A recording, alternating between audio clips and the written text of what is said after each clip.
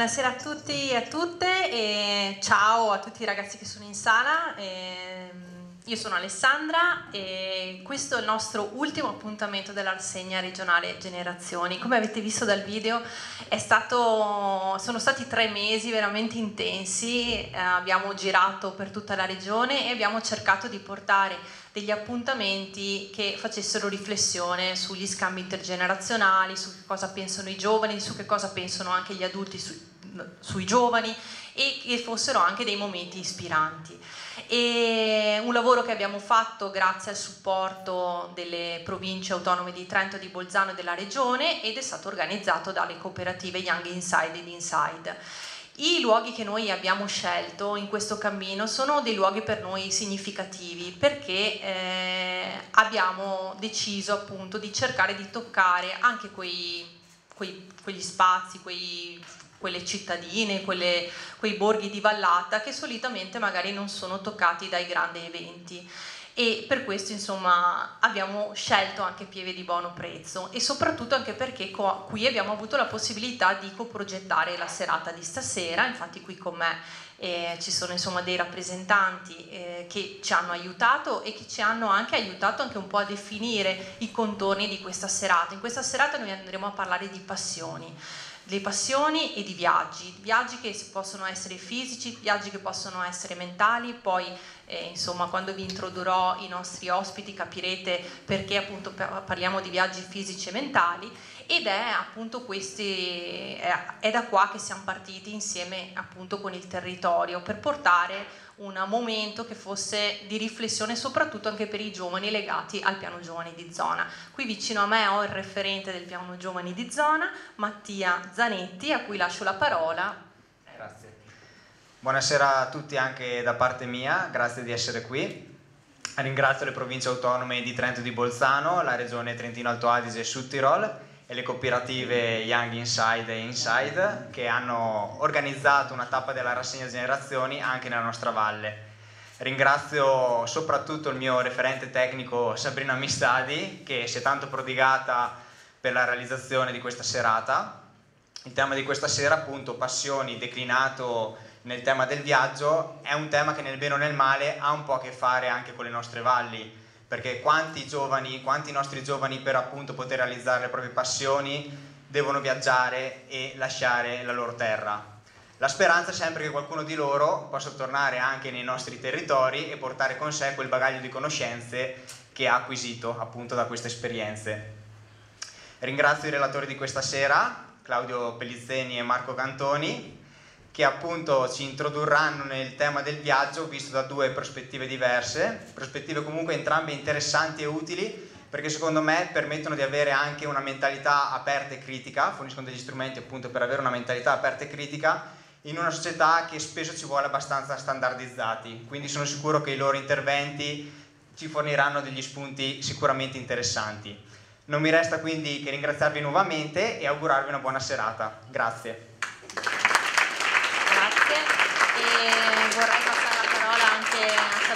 Gladi, proprio insomma, la referente con la quale abbiamo lavorato intensamente in questi mesi.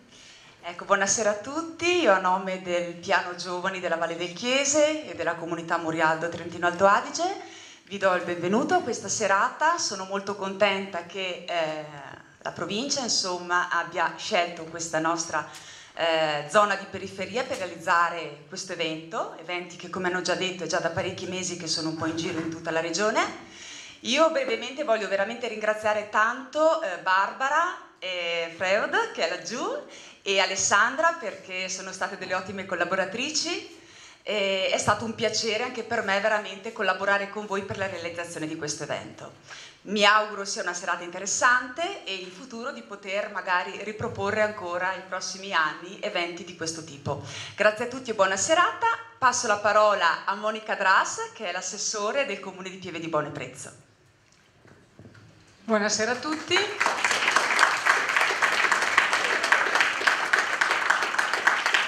Io porto i saluti dell'amministrazione comunale del, di Pieve di Buono Prezzo. Ringrazio la Regione e la Provincia per, per, questo evento, ringrazio Sabrina e il tavolo del, del Piano Giovani perché appunto si sono mm, spesi per questo, per questo evento e speriamo che questo evento possa essere proposto anche l'anno prossimo e chissà, chissà perché no, nella nuova location che dovrebbe essere il nostro centro di aggregazione giovanile qui a Pieve di Bono che verrà inaugurato nei primi mesi del, del nuovo anno. Eh, auguro una buona serata a tutti e grazie a tutti.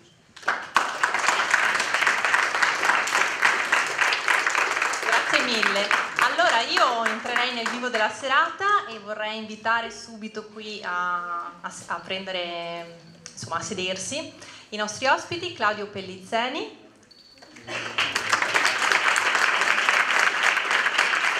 Cantoni e la moderatrice della serata Francesca Merz. Grazie, grazie di essere qui. Come vi ho detto prima, appunto sarà una serata incentrata sulle passioni. Claudio Pellizzeni è oggi un travel blogger e uno scrittore e poi però ci racconterà come è diventato un travel blogger e scrittore e invece Marco Cantoni è un appassionato di libri, di serie tv, film ed è un, un booktuber. Cosa significa? Significa che su YouTube lui carica dei video attraverso i quali eh, fa insomma, delle recensioni sulle letture che fa. È veramente un grande lettore e, ed è per noi interessante poter stasera appunto affrontare il tema della passione parlando appunto di due tipi di viaggi, viaggi che si possono fare fisicamente e quelli che si possono fare attraverso la lettura di un libro. Ma lascio la parola a Francesca Merza e ai nostri ospiti. Grazie, buonasera, buonasera a tutti, ovviamente ben arrivati. E beh, noi direi che possiamo accomodarci. Grazie. Ringraziamo ovviamente Alessandra e anche voi per essere qui presenti questa sera. Ultima tappa di questo festival che è stato a sua volta un viaggio no? nella nostra regione, nel nostro territorio, due ospiti davvero molto particolari, poi personalmente insomma, mi fa anche molto piacere poterli appunto presentare. Allora abbiamo Marco Cantoni che come diceva Alessandra booktuber, quindi fa queste recensioni, adesso ce le faremo spiegare anche da lui e avremo modo anche di vederle sul suo canale YouTube per l'appunto e poi abbiamo Claudio Pellizzeni invece travel blogger. Intanto benvenuti come state? Grazie, bene, bene, molto bene. Tutto bene, tutto bene. Ok, no, così insomma ci presentiamo anche. Ovviamente lo dico poi subito, se avete domande, curiosità, volete intervenire, insomma magari io non riesco a vedervi benissimo, però insomma fate un cenno e noi siamo qui a vostra disposizione, loro sono a vostra disposizione. Allora, eh, iniziamo, non so, scegliamo Claudio, che sei più vicino. Va bene. Allora, Claudio Pellizzeni nasce a Codogno, siamo in provincia di Lodi, in realtà poi è cresciuto a Piacenza e aveva, potremmo dire così, una vita tutto sommato ordinaria. Sì, sì. Quindi un lavoro. Pure troppo. Ecco. un buon lavoro, una laurea che tu al telefono mi hai definito pesante e a un certo punto, come dire, hai deciso di dare invece più spazio, totalmente spazio, alla tua grande passione. Viaggiavi anche prima, però lo facevi nelle settimane canoniche di ferie, insomma, dal lavoro, e poi invece a un certo punto hai deciso di cambiare completamente vita. E uno dice, quando cambia vita che faccio? Ma mi faccio magari il giro no, del mondo in tre anni senza utilizzare aerei e poi ci penso. Da qui è partito tutto. Sì, sì, è partito tutto da qua. Allora, hai detto bene, nel senso che io fino a sei anni fa ero abbastanza diverso da adesso, anche esteticamente, perché lavoravo in banca, quindi avevo il capello corto, non avevo la barba lunga e avevo anche un po' di inchiostro in meno sulle braccia, però come dicevi avevo un lavoro che mh, ai più era considerato eh, molto buono, perfetto, da non potersi lamentare perché io ero contratto a tempo indeterminato in banca come vice direttore di filiale, quindi a 32 anni ero pure un quadro direttivo, eh, solo che mi sono reso conto a quell'età che non ero felice e che quella vita non mi avrebbe mai portato la felicità. Eh, mi vergognavo come un cane di questo perché in un momento di crisi ovviamente pro- che diritto avevo anche solo di potermi lamentare di un lavoro fisso eh, solo che non, se non ero felice non ci potevo fare nulla. E allora mi sono interrogato e in quel momento non avendo fidanzata, moglie, figli né animali domestici, dipendevo solo da me stesso e, e, e ero responsabile solo di me stesso, ho preso in mano la mia vita, mi sono licenziato e ho cominciato a fare il giro del mondo perché era il mio più grande sogno nel cassetto.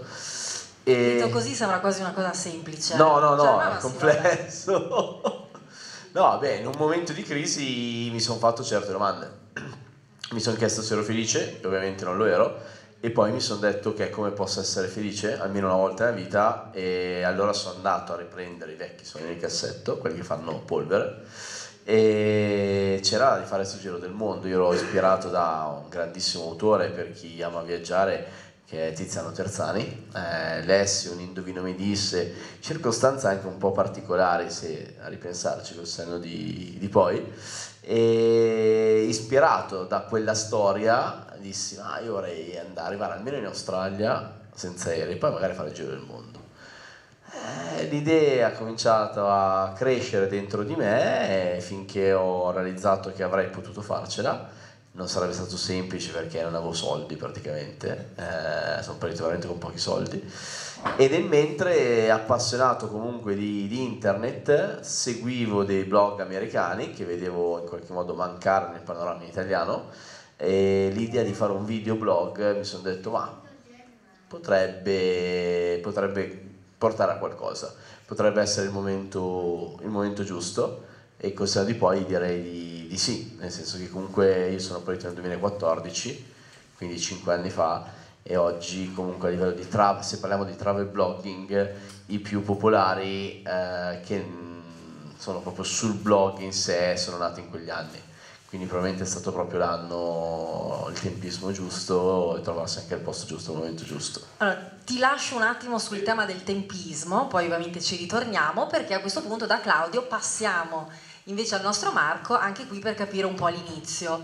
Lui invece è di Verona, studia, fa l'università a Trento, è un grandissimo appassionato di libri, uh, una scoperta forse quella di libri che è arrivata un po' dopo il tempo della scuola, quando probabilmente... Ecco. Verso l'università, sì, dai, tra la fine degli superiori e l'università. Sì, insomma, quando magari no, al libro obbligato, tra virgolette, no, da, da, leggere, no, hai potuto invece assolutamente scegliere. Assolutamente sì, quando potevo scegliere liberamente qualsiasi cosa da leggere. A un certo punto anche lì il nostro Marco dice, vabbè, che faccio? Ok, leggo un sacco di libri, mi piace molto leggere, però li condivido appunto con altre persone e qui è nata appunto l'idea di aprire un canale che in realtà aveva anche già tua sorella. Sì, assolutamente. Beh, è iniziato perché mia sorella aveva un canale, mia sorella ha 8 ehm, anni più di me e mm, avevo, ero apparso in qualche video suo perché magari lei non leggeva un certo tipo di, di libri e allora voleva la mia opinione, mi era piaciuto, però diciamo che non ci avevo mai pensato di, di aprire un canale mio.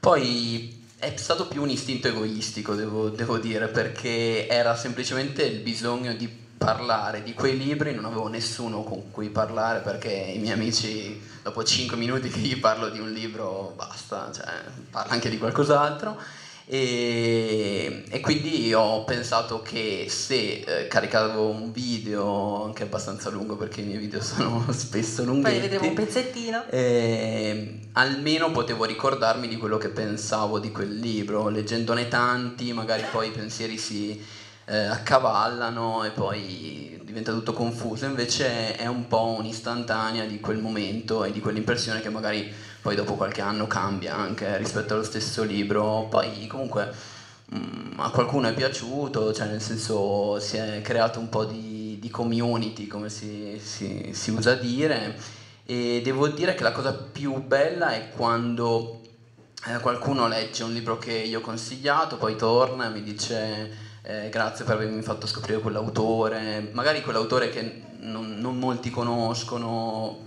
quindi è una soddisfazione che, che, alla fine mi dà qualcosa, poi eh, non lo so se nella vita farò questo, però per ora...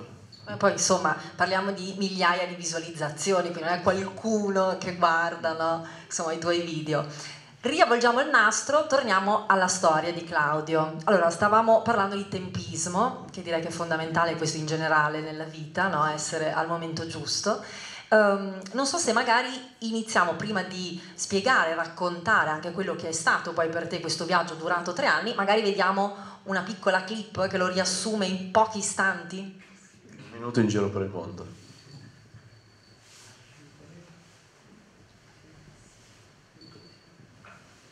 Grazie.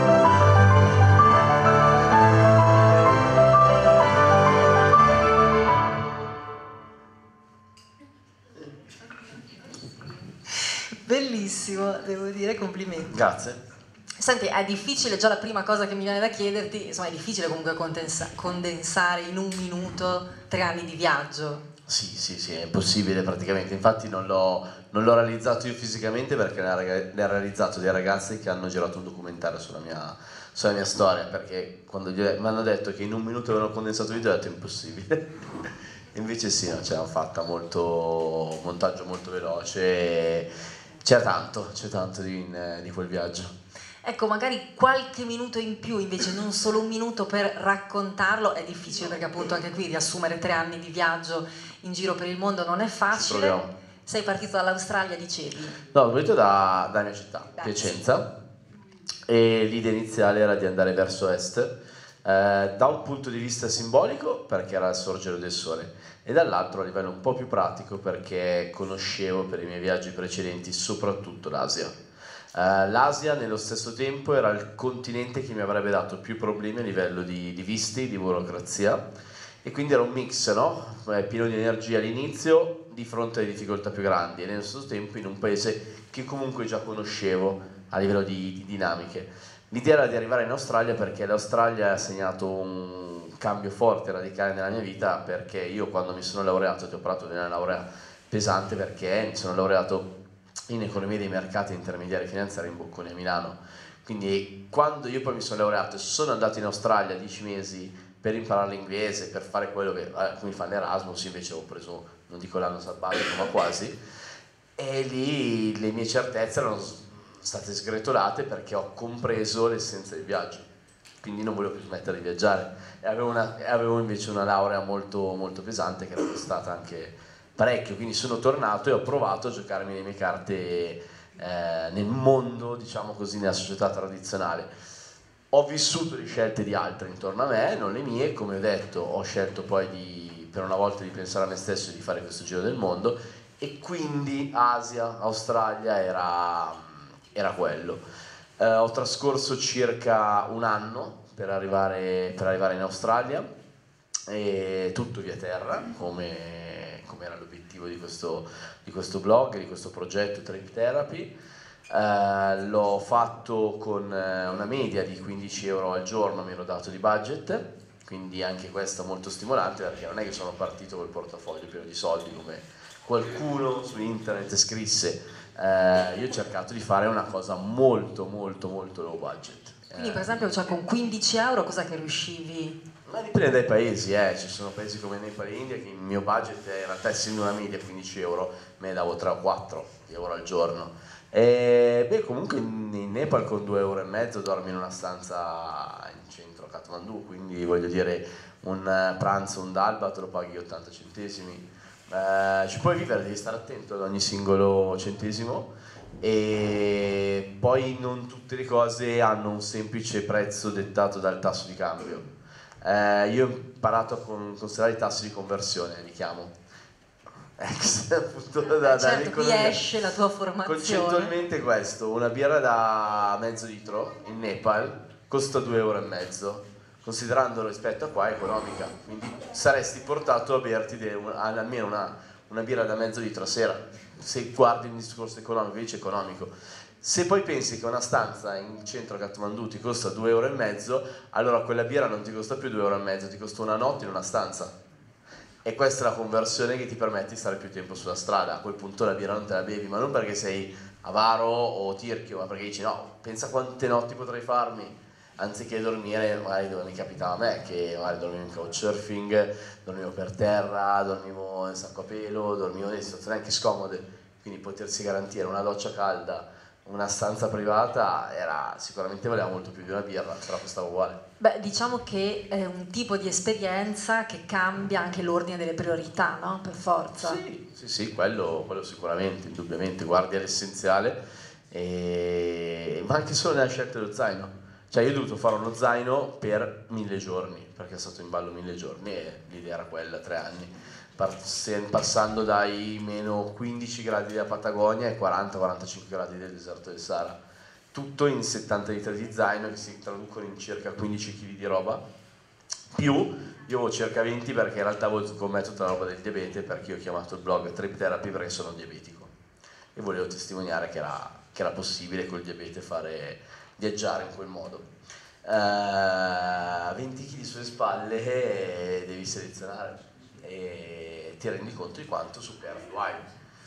Non tante cose inutili, perché non mi piace definirle inutili, però superflue sì, cioè che non realmente ti servono sono tantissime. E adesso vedo che c'è proprio un movimento che sta portando verso il minimalismo e spesso si, si sta meglio, insomma, perché comunque si hanno meno cose di cui temere, si ha meno paura del prossimo, eh, si è più portati a stare bene con le altre persone, cioè insomma meno si ha, effettivamente lo zaino è meno pesante, sei più leggero, quindi cammini, cammini meglio sia materialmente lo zaino no, che fisicamente porti, sì, ma anche sì. e soprattutto a livello mentale. Ti lascio di nuovo in sospeso, ritorniamo invece dal nostro Marco Cantoni. Io direi, caro Marco, se tu sei d'accordo, che invece faremo vedere ai nostri ospiti proprio un pezzettino di uno appunto dei tuoi video che se non vado errata condensa invece eh, i tuoi libri, insomma quelli selezionati per il mese di ottobre. Ah sì sì, poco poco sì, comunque. Prego, un pezzettino. Ciao a tutti, nuovo video. Oggi video letture del mese di ottobre 2019, tanti libri di cui parlare, ma cercherò di parlare in modo più approfondito e dare un po' più di spazio ai libri che hanno avuto un po' meno spazio nel, nello scorso book haul e parlerò invece in maniera un po' più superficiale, un po' più veloce di quelli di cui ho già eh, dato un'opinione un po' più approfondita e un po' più dettagliata nel book di ottobre. Quindi senza perdere tempo partiamo subito. primo libro di cui vi parlo è un romanzo italiano, una novità uscita da poco che eh, mi ha colpito moltissimo. Eh, che ho votato nel- durante le ultime votazioni delle classifiche di qualità eh, per la rivista L'Indiscreto e eh, che penso che non smetterò di consigliare ancora per molto tempo, ovvero Nero d'Inferno di Matteo Cavezzali per Mondadori. Matteo Cavezzali, scrittore, eh, giovane scrittore italiano eh, che ha esordito l'anno scorso, se non sbaglio, con Minimum Fax. La voce di Marco scompare, adesso riappare invece magicamente qui. Questo appunto è un frammento, un pezzettino, insomma, iniziale. In realtà i tuoi video in media durano parecchio. Una mezz'oretta, sì, sì, perché diciamo che mi sono dato un ordine per le tipologie di video, perché diciamo che Booktube è un posto un po' strano. Eh, su YouTube eh, ci sono moltissimi tipi di contenuti diversi, ma per quanto riguarda i libri, invece le tipologie di video sono più o meno sempre le stesse. Io ho cercato, faccio più o meno un video a settimana.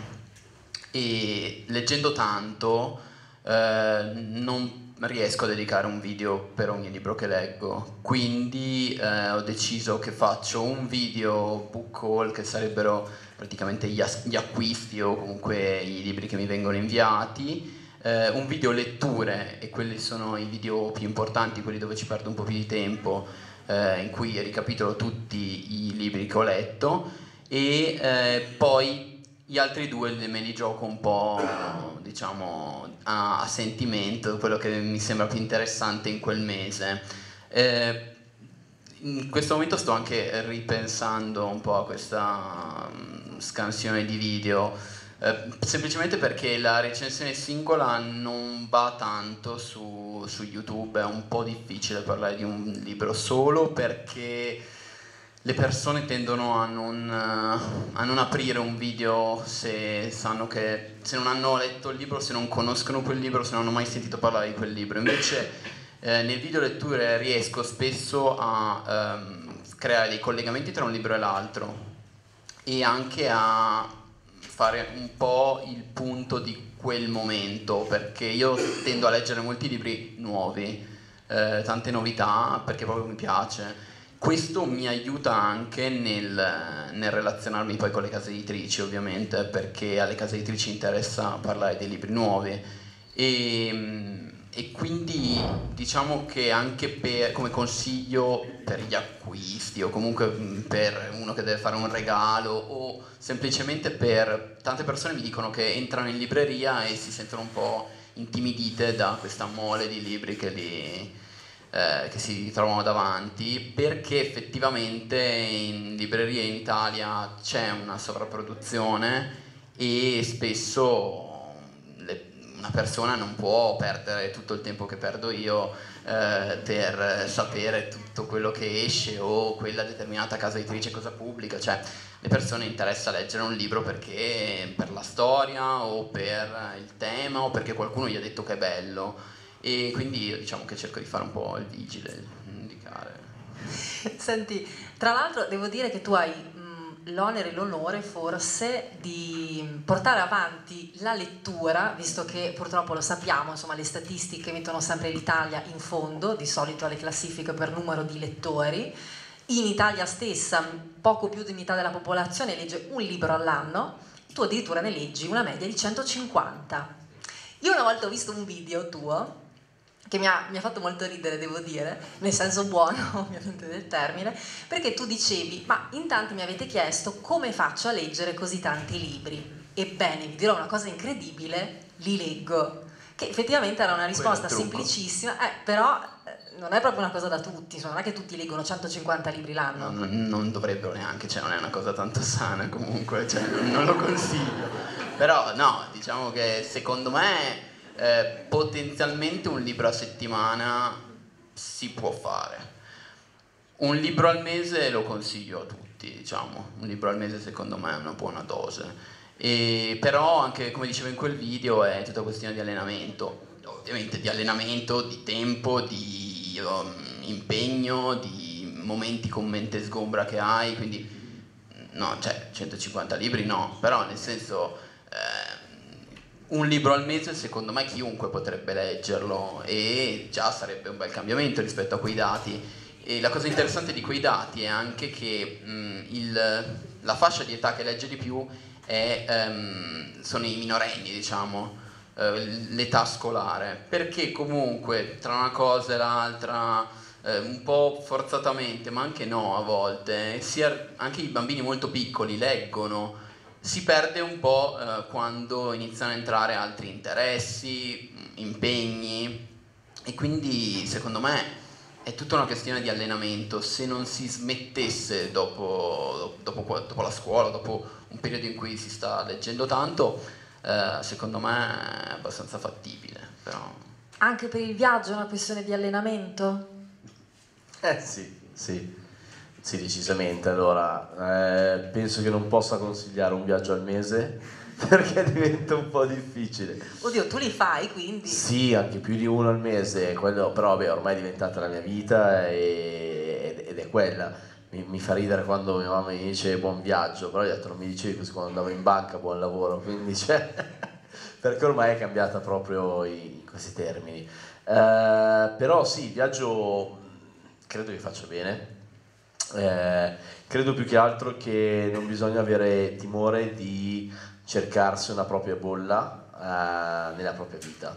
C'è un momento in cui può essere, per me sono stati tre anni, ma non è che per tutti devono essere questo, come non dico che deve essere il viaggio la risposta, eh, però un momento per ascoltare se stessi, per eh, chiarirsi, per eh, vedere dove si sta andando, perché spesso nella vita si fanno non scelte, che noi chiamiamo scelte, ma in realtà sono non scelte. Eh, ci siamo trovati, siamo trovati di fronte a bivi dove non potevamo che scegliere una strada eh, ecco, fermarsi un attimo, rallentare, staccare, provare a vedere le cose da un altro punto di vista eh, è importante. Questo mi sento di consigliarlo. Ovviamente, stante il mio argomento principale, che è il viaggio, è chiaro che io l'ho visto molto propedeutico a, a queste pause. Eh, possono essere però anche una, un tempo per, per, per prendersi un'alba. Eh, è una, l'alba è il miracolo quotidiano no? del sole che sorge però pochissimi se la, se la, godono, se la possono permettere, perché? Perché poi arrivi tardi al lavoro, se lo fai nei weekend, no, nei weekend mi devo riposare dal lavoro, eh, se lo faccio poi mi stanco, non sono riposato per la settimana dopo, cioè si innesca tutto quel meccanismo che alla fine, cioè, anche lì magari un'alba a settimana, un'alba al mese, potrebbe fare molto bene perché ti metti in pace con eh, tanti pensieri, tanti stress, tante energie negative che, che accumuliamo e io parto dall'idea del dedicarsi del tempo, eh, dedicarselo leggendo, cioè è vero, 150 magari non sono normali, però se la tua passione ti piace c'è tanta roba, eh, come me il viaggio, io faccio 300 giorni l'anno in viaggio, 60 casa, forse anche meno, e la gente dice ah bello sì perché vedono solo la parte delle, della spiaggia, della macchia e così, non è mai così ovviamente, c'è tanta roba diversa, il viaggio è eh, ne scriverò poi anche un giorno, eventualmente un libro, anche veramente tanta fatica sulla strada, ma è quello che ti fa sentire, ti fa sentire vivo. Beh, d'altronde adesso no, che dicevi spesso e volentieri viviamo attraverso le non scelte, perché viviamo con alibi costanti, no? Non ho il tempo di leggere, non ho il tempo di viaggiare, non ho il tempo di vedere un'alba. Se lo dicesse al mio capo di vedere un'alba a settimana, mi direbbe sono pazza, lo saluto, non c'è. Sì, è vero, sono le dita dietro cui spesso ci, ci nascondiamo, però è una questione di prospettiva, perché c'è il dito dietro cui ci nascondiamo, se lo spostiamo diventa piccolo non ci nascondiamo mica tanto, quindi eh, sta tutto lì. Non dico che è semplice, perché non lo è, però le risposte a volte possono essere molto più facili da, da trovare rispetto a tanti alibi che ci costruiamo. Senti, cos'è che a tutti e due vi hanno detto quando tu hai detto va bene, basta, mi licenzio, adesso parto per tre anni, non oso immaginare insomma che cosa ti abbiano detto i tuoi amici, familiari e quant'altro, e anche invece quando magari tu hai deciso, bene, ok, invece che leggere e basta, tra virgolette, leggo e li racconto. Le reazioni quali sono state? I miei amici mi hanno detto, ma davvero leggi così tanto? Ecco. no, vabbè, però sì, ma diciamo che l'hanno presa tutti molto naturalmente, ne parlavo già nella vita reale. Non tutti guardano i miei video, per fortuna, però sì, non, non è stata una scelta così estrema, diciamo. Anche se appunto leggere 150 libri, dicevamo, un po' estremo lo è. Tu Claudio? È stato un po' più complesso, diciamo. No, allora è stato forte perché io l'ho decisi più o meno in questo periodo dell'anno e partì a maggio. Quindi diedi tempo alle persone a me più vicine di esprimere le proprie opinioni dicendogli proprio guarda io fino a Natale ascolto, poi se per Natale ho deciso di farlo, cioè vado avanti poi per la mia strada e no, non venite lì a, a criticare o a, dire, par- parlare così per parlare. E ovviamente tutto è successo dopo Natale fino a quel momento bellissima idea, bello bello, poi ma sei sicuro di quello che fai? Sei un pazzo, ti licenzi in questo momento, la crisi e, e la famiglia non è stata semplice, l'unico veramente che lo comprese fu, fu mio padre, fu una sorpresa perché lui era un, un dirigente finanziario, quindi non mi aspettavo che capisse questa scelta, invece è l'unico veramente che l'ha, l'ha capita. E, però non so, ho sentito qualcosa di forte dentro di me qualcosa di irrazionale, eh, però sentivo che ero sulla strada giusta per la mia felicità, per la mia realizzazione e, e a un certo punto ho deciso di perseguire proprio questa autorealizzazione per poter stare meglio poi in rapporto agli altri, perché altrimenti se no sei sempre in quella fase di non equilibrio in cui ti senti o di aver dato tanto o di non aver dato abbastanza, mentre invece cioè, i conti sono solo con te stesso. E quando poi uno si realizza e sta bene, a quel punto si riesce a donare in maniera incondizionata senza aspettarsi qualcosa, qualcosa in cambio dalle, dalle, persone. Quindi si è molto più, più liberi, però è un passaggio che non da tutti è compreso. Effettivamente lasciare la strada sicura per l'insicura in questo mondo, in questa società è condannato assolutamente, eh, non vieni capito e anzi vieni accusato quello che ti dicevo all'inizio, no? Cioè io non avevo diritto ad essere infelice perché lavoravo in banca e avevo uno stipendio da 8.000 euro al mese, cioè mh, allora non ho il diritto di essere infelice. Mi sembra quantomeno sciocco, via, eh, pensare così, miope. Eh, e quindi bisogna guardarsi un attimino dentro e avere coraggio anche di fare scelte a volte che possono sembrare irrazionali. Senti, ti abbiamo lasciato ad est no, nel tuo viaggio, sarebbe bello magari sapere poi dove sei andato, che hai fatto dopo? No, appunto, dopo l'Asia e aver raggiunto l'Australia mi sono imbattuto in una delle avventure che più sono piaciute sul mio blog, ovvero passare un mese intero su una nave cargo mercantile, batteva bandiera liberiana, è vero, non è una battuta, infatti quando l'ho visto ho riso molto perché era il secondo cargo che prendevo, il primo l'ho preso da mm, Hong Kong per arrivare fino in Australia e poi dall'Australia per andare fino in Canada, tutto l'Oceano Pacifico. Sono arrivato in Canada, ho attraversato l'America, nel mentre fortunatamente ho cominciato a trovare lavoro eh, perché ho collaborato con Licia Colò e la sua trasmissione, quindi tutte le domeniche ero suo inviato speciale, avevo qualche soldino in più, mi sono fatto anche un costo costo americano che non era nei programmi sono sceso giù tutto il Centro America, anche lì lavoretti vari perché è stato un momento in cui ero anche arrivato ad essere senza, senza soldi.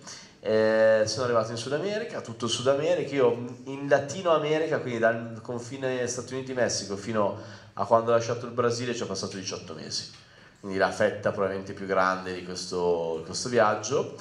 Dopodiché un'altra nave cargo mercantile verso l'Africa, volevo andare in Sudafrica e risalirla tutta, ma non avevo più le forze perché comunque tre anni in viaggio ti, ti annientano le energie, la batteria. L'Africa è un paese che lo sto vedendo adesso sulla mia pelle, ha bisogno di energia forte eh, perché ti, ti, mette a dura prova.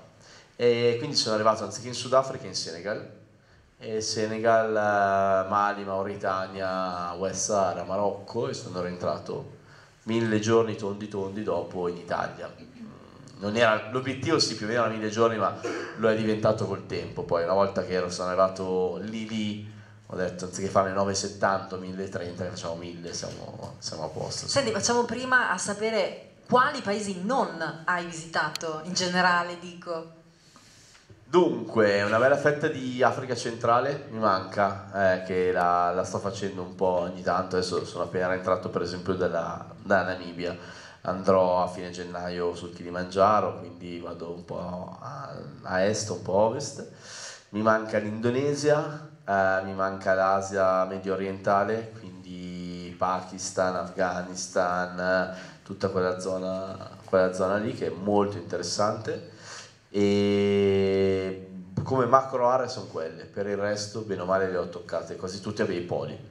Un sogno è il Polo Sud, sicuramente un giorno lo farò, spero, però voglio, voglio toccare anche il Polo Sud. Complessivamente 75 paesi visti. Sì, 75.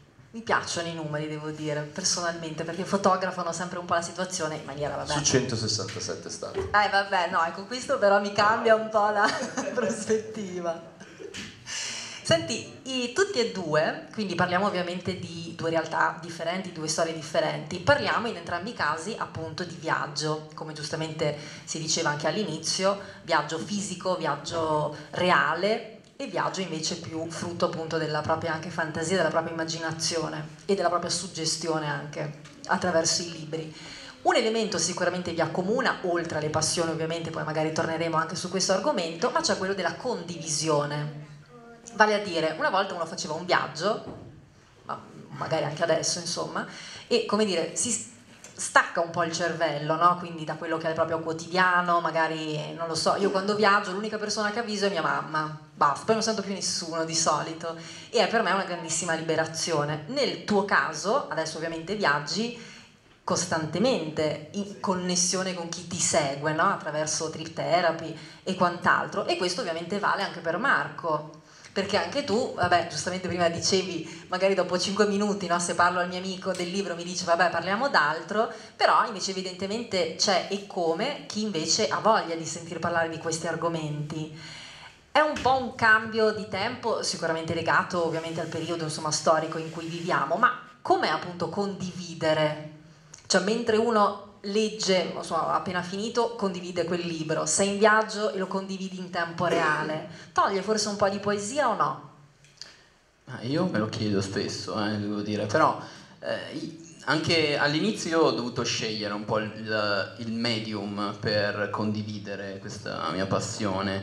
Eh, la, la, tendenza più forte è il blog scritto per parlare di libri, infatti eh, anche dal mondo un po' più conservatore dei libri, da questi lettori che io chiamo lettori talebani.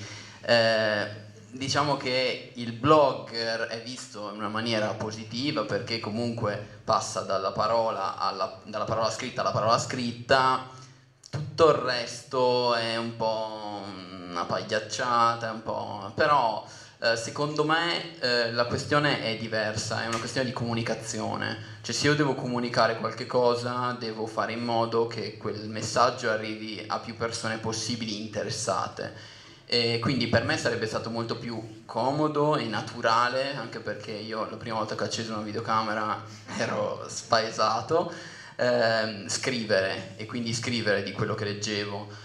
E invece ho visto e comunque poi negli anni questa cosa è diventata ormai una regola che il blog è un po' diciamo decaduto come trend social e alla fine l'audiovisivo è il mezzo che la gente usa di più perché è più duttile, lo puoi eh, mettere su quando stai facendo qualcos'altro, ti, ti dà molte più eh, comodità e quindi per me è più importante adattare quello che voglio raccontare me- nel miglior modo per farlo arrivare a più persone possibili. E infatti YouTube nel mio caso è la piattaforma eh, migliore perché mi dà la possibilità di caricare dei video lunghi. Eh, sono attivo anche su Instagram perché ormai Instagram è abbastanza indispensabile. Lì per esempio do dei pareri molto più rapidi, molto più veloci e a, a, cal, a, caldissimo, cioè appena finito un libro posto una foto, eh, cerco comunque di, di, dare del contenuto anche lì perché si tende su Instagram a vedere e basta, però c'è anche del, del, delle parole scritte, quindi si possono, si possono leggere anche delle mini recensioni su Instagram, però di base secondo me il concetto di condivisione anche si, si basa sulla comunicazione, quindi è importante che sia il modo migliore per farlo arrivare. Beh, su molte cose sono d'accordo, assolutamente, perché beh, la forma di comunicazione segue i tempi che corrono, eh, c'è poco da... Cioè, c'è da parlare chiaro, eh, ovviamente. Sul discorso che toglie o meno poesia dipende. Allora, eh, secondo me anche il viaggio in sé, senza parlare di social o di condivisione, è cambiato grazie a internet. Internet è una, una pozza di informazioni clamoroso a tutti i livelli e in maniera del tutto trasversale. Qualunque informazione tu cerchi oggi su internet c'è, vera o falsa che sia, approfondita o non approfondita, eccetera, ma c'è. E quindi anche già il viaggio cambia cioè, io mi ricordo, comunque ho 38 anni, i primi viaggi che facevo anche un po' in solitaria a 17-18 era andare o prenotare telefonicamente prima oppure andare a chiedere No? Eh, adesso non chiedi più, guardi su Google Maps, guardi su Booking e cerchi dove, dove, dormire. E molti si è perso l'arte del viaggiare. No, è cambiato il tempo, è cambiato la, la forma, è cambiato lo strumento se vuoi puoi ancora viaggiare come un tempo nel senso di mentalità. E la stessa cosa è per la condivisione. Uh, penso alla mia storia. Io sono riuscito a raccontare una storia in un libro. Uh, Vent'anni fa mi sarebbe stato probabilmente impossibile uh, fare una cosa del genere. Questo è venuto grazie alla condivisione, è venuto grazie agli articoli del blog. Alle persone sono piaciute e mi hanno detto: Ma perché non ne scrivi un libro? Poi mi sono trovato per un mese a sfracassarmi in un cargo mercantile e allora mi sono messo a scrivere un libro. È tutta una conseguenza, però cioè, se ci penso non ce l'hai mai arrivato. E quindi secondo me eh, perde poesia nel momento in cui diventa un atto forzato. Cioè, eh, io ho avuto la fortuna, il tempismo, mi piacerebbe dire, di essere cresciuto a livello di travel blogging in un momento in cui si cresceva se producevi contenuti di qualità non dovevi stare attento all'orario di pubblicazione, al giorno, a tutte queste cose. Oggi ci sto più attento, ma fin lì, perché fortunatamente mi sono guadagnato una certa posizione per cui comunque le persone mi seguono stesso, comunque cresco.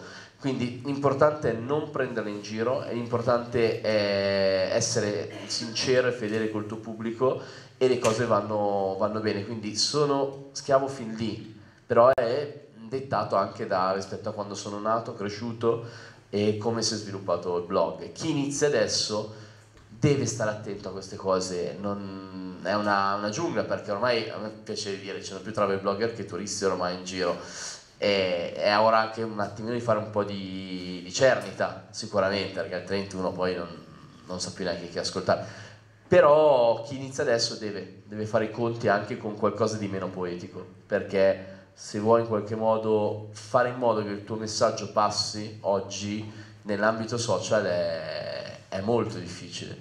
E quindi il selfie ci deve essere. Eh, la foto in un determinato contesto ci dovrebbe essere, chiamiamolo così. Eh, però secondo me se le persone continuano a essere fedeli verso se stessi ed essere se stessi i loro primi fan, cioè le prime persone cui, per cui a quell'articolo, a quella foto, a quel video metterebbero il like lo commenterebbero, secondo me non si perde alcun tipo di poesia, è semplicemente al passo, al passo coi tempi. Oggi la condivisione è virtuale tantissimo e ci sono persone che mi scrivono grazie perché al mattino vado in ufficio, vedo la tua foto e mi immagino di viaggiare e questa è condivisione e secondo me non toglie niente di poesia, anzi la, ne aggiunge. Il confine effettivamente è molto è labile sottile. C'è anche qualcuno proprio che ti contatta per chiederti invece delle regole da seguire per chi magari invece si affaccia, come dire, nel mondo appunto del web? Sì, sì, sì, sì, sì, sì. solo che io sono abbastanza anarchico in questo cioè, io ho detto, una volta mi hanno invitato a un corso, e ho detto, secondo me avete sbagliato persona, perché se vi devo spiegare come... Cioè, io ho imparato delle cose a questo corso e dovrei insegnare perché... Eh, sì, perché comunque ho sempre, meno male, pubblicato quando ho voglia di pubblicare le cose e come volevo raccontarle. Poi col tempo è diventato, ok, una forma anche di rispetto verso chi mi segue. Cioè, il fatto di pubblicare ogni mercoledì mattina alle 9 il video su YouTube io lo vedo non come una costrizione, ma come un atto di rispetto verso la community che mi segue. Cioè, io ti sto dando un impegno mio fisico settimanale per darti qualcosa che è pure entertainment a livello di mondo viaggi. Te lo sto dando in forma di, di rispetto in qualche modo. Sugli Instagram, sui Facebook, che devi stare attenti a certi algoritmi, eccetera, all'orario, allora sì, a volte magari mi piacerebbe pubblicare alle 5, però se pubblico alle 9 rende meglio. Allora è un compromesso a cui, a cui cito il passo, però quello è il compromesso al massimo l'orario, non il contenuto, non eh, quello che bisogna dire. Quello sono sempre stato assolutamente sincero con me stesso e nei confronti soprattutto di chi, di chi mi segue. Sarebbe interessante sapere se qualcuno del pubblico magari ha come dire, no, una pagina web o vuole appunto chiedere dei consigli, adesso ovviamente saranno tutti timidi, ognuno schiverà lo sguardo, quindi... Però insomma se magari volete approfittare ecco, per chiedere anche dei suggerimenti ai nostri ospiti ben volentieri. Parliamo di web, parliamo di condivisione, ma in realtà parliamo anche di un posto, quello dove siamo questa sera, che in realtà ha una biblioteca, ma per esempio non ha una libreria. Quindi quando immagino eh, appunto uno ha, voglia, l'interesse di acquistare un libro, o lo acquista online, oppure va, se non sbaglio, nella cartoleria dove si fa arrivare insomma il libro. È un po', un, po un peccato che non ci sia una libreria, che dici Marco? Sì, sì, assolutamente, però purtroppo è così, cioè, devo dire che non, non, non, mi, non, mi, sorprende. Io vivo a Verona, a Verona chiude una libreria ogni sei mesi, più o meno. E è cambiato il mercato, il mercato è cambiato, non c'è niente da fare.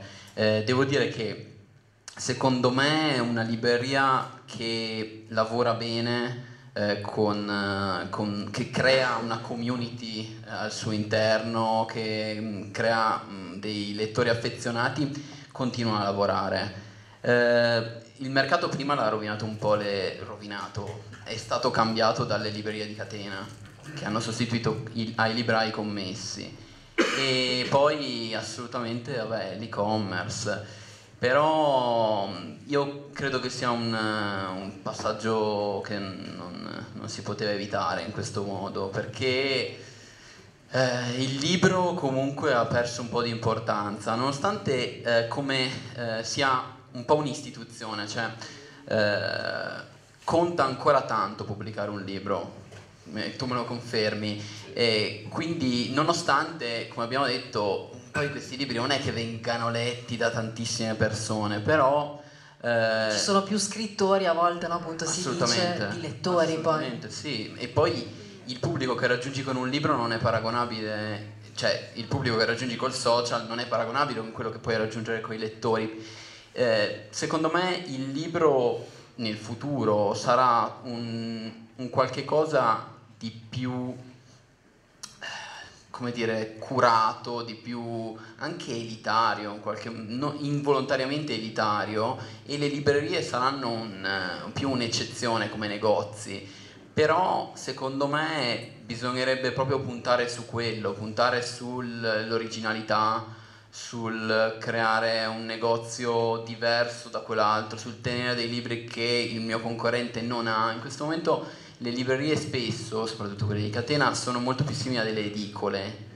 Eh, la gente entra in libreria e pretende che qualsiasi libro uscito ci sia in libreria, ma non lo pretende quando entra in un negozio di scarpe, cioè entra in un negozio di scarpe non è che deve avere tutte le scarpe uscite, il negoziante ha deciso quali secondo lui sono in linea con il suo modello di business o la sua idea di scarpa Secondo me una libreria dovrebbe fare più o meno questo, scegliere quali sono i libri che lui ha più possibilità di consigliare, ha più modo di raccontare e puntare su quelli. Tu quali libri leggi?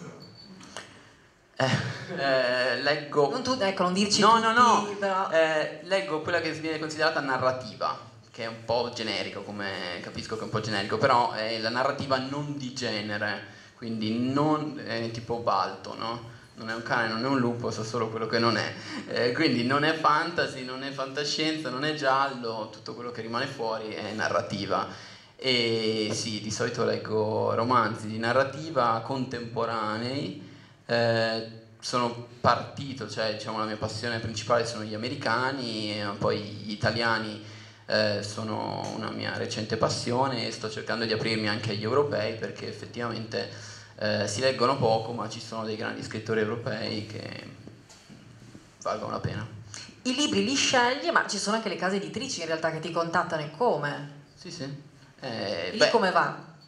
E lì diciamo che il gioco è più che altro a non farsi prendere un po' dalla mania del oddio mi, mi regalano i libri perché alla fine cosa te ne fai di un libro che non leggi? Cioè, nel senso, vedo molti che eh, ricevono mol- valanghe di libri, poi tendenzialmente non li leggono. Io credo che finché i libri che rifiuti sono più di quelli che accetti, stai facendo un buon lavoro. Perché sai che cosa poi cioè, io lo so quando un libro mi interessa o non mi interessa, cioè, anche prima di leggerlo poi dopo un po', cioè, certo, può esserci l'eccezione, cioè il libro che pensavo mi sarebbe piaciuto moltissimo, invece poi eh, l'ho odiato, però sono più eccezioni, quindi eh, quando una casa editrice mi propone di leggere un libro, anche perché ovviamente è tutto gratis, eh, cioè non è che, che ci sia niente di, di giusto la copia, anzi qualcuno prova anche a rifilarti il PDF e ehm, su quel, su quel versante poi l'editoria è molto vasta, bisogna anche cercare di, di capire quali sono gli editori seri, quali no. Di base, se un editore è in libreria è serio, se non arriva in libreria è difficilmente, o è un incompreso, però sono molto pochi gli incompresi.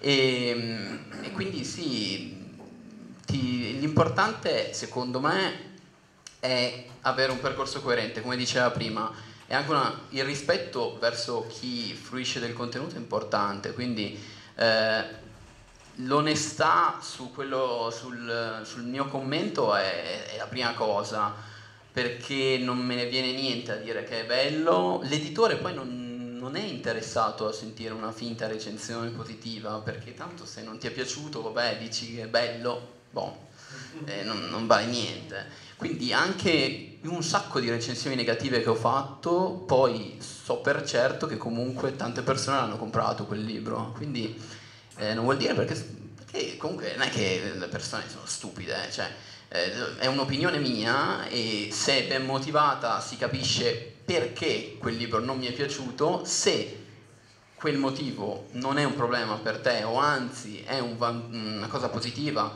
è un qualche cosa che potrebbe farti piacere quel libro, allora lo compri. Anche perché sul tuo canale bocci anche i libri, non è che appunto sono tutti promossi. Sì, sì, capita, capita, sì, sì, capita, è capitato anche di recente, però sì, capita che mh, con, ah, beh, con rispetto assolutamente nei confronti di chi l'ha scritto, di chi l'ha pubblicato, perché cioè, mh, ecco, cerco sempre di essere moderato, nei- più passa il tempo e più mi accorgo comunque che mh, fare un po' di, di palco, di spettacolo, eh, può funzionare, però poi non è che ti dà molta credibilità. Allora sì, se una cosa non mi piace, cerco di spiegare perché non mi è piaciuta e ma io ho ricevuto feedback anche dagli stessi autori mh, che, che non hanno nessun problema, anzi sono contenti che l'ho letto e che ne ho parlato, quindi mh, non mi faccio nessun problema a questo punto di vista. Dai libri letti ai libri scritti anche, perché ovviamente il nostro Claudio, giusto per non farsi mancare niente, perché dice ma alla fine, no? mentre sono da una parte all'altra del mondo, avanti e indietro, perché non scrivo giustamente anche dei libri? Il primo racconta proprio il tuo viaggio, appunto, eh, durato tre anni in giro per il mondo, l'orizzonte ogni giorno un po' più in là, e poi invece il libro più recente, Il silenzio dei passi, dei miei passi, pardon, che invece racconta un altro viaggio, anche questo decisamente fuori dal comune. Tu hai fatto il cammino di Santiago a piedi e fin qua uno dice va bene, il cammino si fa a piedi, l'hanno fatto in tanti, ok. Sei partito dall'Italia, quindi già un percorso più lungo, sia in termini di chilometri evidentemente che anche di giorni, ma c'è un dettaglio molto particolare. Claudio ha fatto per tutta la durata del viaggio, 72 giorni, un voto di silenzio. Cioè tu non hai parlato. Scrivevo, non parlavo. Eh, ho fatto perché può essere chiaramente frainteso quando, quando se ne parla la prima volta. Sembra che io abbia fatto una scelta di esclusione di tutto quello che mi era intorno, quando il cammino di Santiago è pura condivisione. Eh, no, io ho scelto di, semplicemente di comunicare scrivendo in modo da lanciare anche un messaggio attraverso anche la mia figura sui social che era di tornare all'ascolto. Eh, io mi ero accorto ormai che non si ascolta più chi, né se stessi né chi sia intorno, in strada, in televisione, nei bar, ovunque, cioè la gente si urla sopra e sembra che le idee urlate valgano più delle, di una buona idea, semplicemente, no? Eh, conta urlare le cose, prevaricare l'altro. Eh, non mi è piaciuto e stavo ragionando che mi mancava nel mio curriculum vita da viaggiatore il Cammino di Santiago, lo volevo fare dall'Italia perché penso anche stupidamente pensavo ai vecchi pellegrini, no? agli antichi pellegrini che partivano dalla loro città per raggiungere Santiago, quindi pensavo che il pellegrinaggio fosse partire dalla propria città, in realtà dovevi anche tornarci. Io sono stato con l'aereo, quindi anch'io l'ho fatto a metà, non è che abbia fatto tutta sta... cioè gli antichi lo facevano seriamente, erano, erano anche molto pericolosi i pellegrinaggi a Santiago per, eh, per ladri, criminali sulla strada, insomma era, era tutta un'altra cosa. Però mi affascinava questa cosa dei voti che si è un po' persa. E parlando con un ragazzo, tornando da un corso di meditazione, parlammo e saltò fuori l'idea di farlo, di farlo in silenzio, quindi per 72 giorni, visto che ti piacciono i numeri, 2189 km, non ho, non ho mai parlato eh, fino ad arrivare davanti alla, alla cattedrale di, di Santiago. E tu nel libro racconti Vabbè, ovviamente tutto il viaggio con anche molta precisione, devo dire. E una cosa anche mi ha colpito perché quando all'inizio sei partito e quindi magari immagino che anche tu no, fossi un po' spaesato a non poter parlare, non è proprio una cosa da niente, perché sì, magari ci sembra, e eh, vabbè, no, che sarà mai, insomma, io già dopo un po' che non parlo, insomma, comunque qual- qualcosa non va. del mondo di gioco di silenzio. esatto potremmo farlo adesso. Ma prima approfittiamo ancora del fatto che parli, invece Claudio. Il silenzio ti ha rallentato i pensieri, questa è una cosa meravigliosa. Una cosa che non credevo, che non credevo neanch'io. Eh, a un certo punto, camminando e stando in silenzio, eh, innanzitutto si hanno dei grandissimi punti di riferimento che sono su distanze piccole.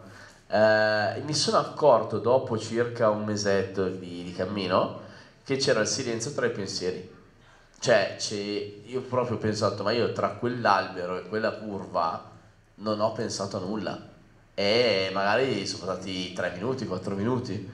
Quindi questa cosa che poi dopo, tra l'altro qualche follower me l'aveva scritto, ma purtroppo ho persi quella, eh, quel commento, eh, che c'è proprio una teoria di uno psicologo, eh, però purtroppo mi sfugge, mi sfugge il nome, in cui parla proprio del silenzio tra, tra i pensieri, quindi è una cosa che effettivamente è stata anche studiata, però averla provata, quindi senza averla mai sentita, averla provata nella tua testa, uff, ti, ti, ti, ti spiazza un po'. Eh? Già quando uno magari fa meditazione riesce per un istante a non pensare, già è una cosa... Eh, però è un processo diverso. Eh no, Comunque, infatti già quello, eh, così...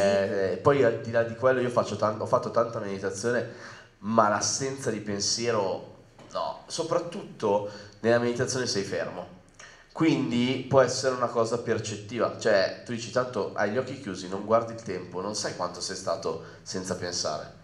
Magari ti è sembrato 10 minuti quando in realtà erano 2 secondi, cioè non, non, non hai nessun riferimento. Camminando invece ce l'hai, perché ti rendi effettivamente conto, dici no, l'ultimo pensiero che ho avuto è stato quello e adesso c'è questo, ma nel mezzo c'erano 150, 200, 300 metri, quindi ti rendi effettivamente conto che c'è il silenzio dei pensieri. Il tuo dialogo avveniva appunto scrivendo, quindi le persone ti parlavano ovviamente, tu invece che rispondere a voce scrivevi. Il che anche questo fa una piccola grande rivoluzione, no? Perché spesso parliamo, magari siamo al telefono, intanto cerco una cosa nella borsa, intanto sto andando da un'altra parte. Sì, la gente si stupiva che ero strattetto. Eh, eh, sì, e soprattutto se scrivi, insomma, quello stai facendo, sì, no? Sì, sì, sì. sì. È bello perché ribalta. Infatti, quando a volte veniva criticata questa cosa dicendo ma appunto Camino Santiago condivisione, cosa fai a non parlare? No, in realtà io condividevo ancora di più perché allora, innanzitutto le persone con me piano piano si aprivano eh, in maniera del tutto inaspettata perché trovavano una persona che li stava ascoltando, che non li interrompeva. Potevano addirittura, perché a me io spesso mi piace ragionare per estremi e a volte non mi metto neanche a fare una discussione, una conversazione, perché ora che arrivo alla conclusione che voglio dare, ragionando anche un po' per provocazioni, so già che non ci arrivo, perché chi ho di fronte l'interlocutore mi blocca subito, è normale la dialettica, però col fatto che uno in silenzio, uff, cioè la gente parlava, parlava, parlava, poi doveva aspettare la mia risposta, perché la mia risposta arrivava scritta, quindi impiegavo del tempo. E questa nuova fase temporale riequilibrava la conversazione e si arrivava a toccare veramente dei punti molto, molto profondi, perché io stesso quando rispondevo dovevo es- avere il dono della sintesi perché vole- dovevo metterci il minor tempo possibile, arrivare dritto al concetto senza poter usare intonazione. Come fai a dire che stai scherzando? Sto scrivendo. Cioè, devi fare la premessa, sto, sto scherzando. Cioè, fai la battuta, no? Cioè, ci sta, io poi sono uno che non si piace prendere troppo sul serio. Però diventa, diventa complesso, quindi si va al nocciolo della questione subito, rapidamente, però in maniera molto molto profonda e molto trasparente. Sembrava quasi che potevano raccontarmi i loro segreti. Eh, in realtà è semplicemente una, una, fase diversa di comunicazione. Io non sono cambiato, grazie a Dio l'ho potuto scegliere il mio silenzio. Ovviamente non farei mai cambio appunto con persone che hanno un problema fisico. Però nella scelta a me ha dato, dato tantissimo e ti dirò di più, a tutti fa effetto sta cosa del silenzio. In realtà io sono potuto stare in silenzio anche altri sei mesi senza problemi, cioè ci stavo anche bene, i chilometri non ne potevo più ho fatto, cioè se devo ripensare a Santiago penso ai chilometri, non penso al silenzio. Il silenzio è stata una condizione, è stato quasi un privilegio. A me alcuni religiosi hanno detto cosa pensi di redimerti, pensi di redimerti con questo voto? Ho detto no, no, no, ok, io non voglio niente. Cioè non mi sta costando fatica, non mi sta costando sacrificio, anzi mi sta dando tanto. Quindi cosa, quali pene devo farmi perdonare con questo voto che non è un voto che mi dà sofferenza. C'è qualcuno che si è anche spazientito di fronte al tuo silenzio? Uff, tantissimi, generavo anche gelosia, invidia come è normale nel, nel mondo, no? Per tante cose. Cioè adesso io faccio un lavoro che tantissimi mi invidiano, eh, vedono appunto solo certe parti di questa, di questa vita quando non vedono tutto il resto comunque e la stessa cosa nel, nel silenzio c'era cioè persone che pensavano che, che, io mi mettessi quasi sul piedistallo perché non parlavo come se stessi facendo qualcosa di più speciale di loro. Invece non era così assolutamente. Chi mi era vicino l'aveva capito ma alcuni no e quindi chiaramente tanta gente si era anche spazientita o comunque presa male da questo silenzio. I miei compagni di viaggio finali invece hanno addirittura passato 24 ore in silenzio per poter vivere la stessa condizione che stavo vivendo io. Cioè, quindi proprio condivisione assoluta. Quando parlo di condivisione, un gesto del genere va ben al, al di là di una conversazione serale fatta a voce, no? È fatto di, di gesti, di fatti, di, di, di, episodi che insomma restano nella memoria poi. Senti, non voglio assolutamente spoilerare il finale, però Secondo me in tanti si chiedono, ma quando poi ha ripreso a parlare? Non so se si può dire. Se no non lo diciamo, eh, se no passiamo. Sono diventato afono in 5 minuti perché sono corde vocali, sono dei muscoli. E quindi oltre al danno alla beffa, dopo che ho parlato, ho perso la voce subito. E questo nel libro non c'è scritto. Quindi non ho spoilerato nulla. Oh, bravissimo, bravo, esatto, perfetto. Poi se volete sapere la prima parola prendete il libro. Bravo, bravo, infatti poi sentivo nel fratello, no, no, non vogliamo saperlo, io l'ho chiesto, eh. Però insomma era un dettaglio interessante, così esatto, vi invitiamo alla lettura del libro. Magari ci guardiamo anche... ironico, quello sì, eh, perché sì. appunto non mi piace venire troppo sul serio e quel finale secondo me è abbastanza ironico da quel punto di vista. Ci guardiamo un minutino, anche qui, il riassunto in un minuto del viaggio. Grazie.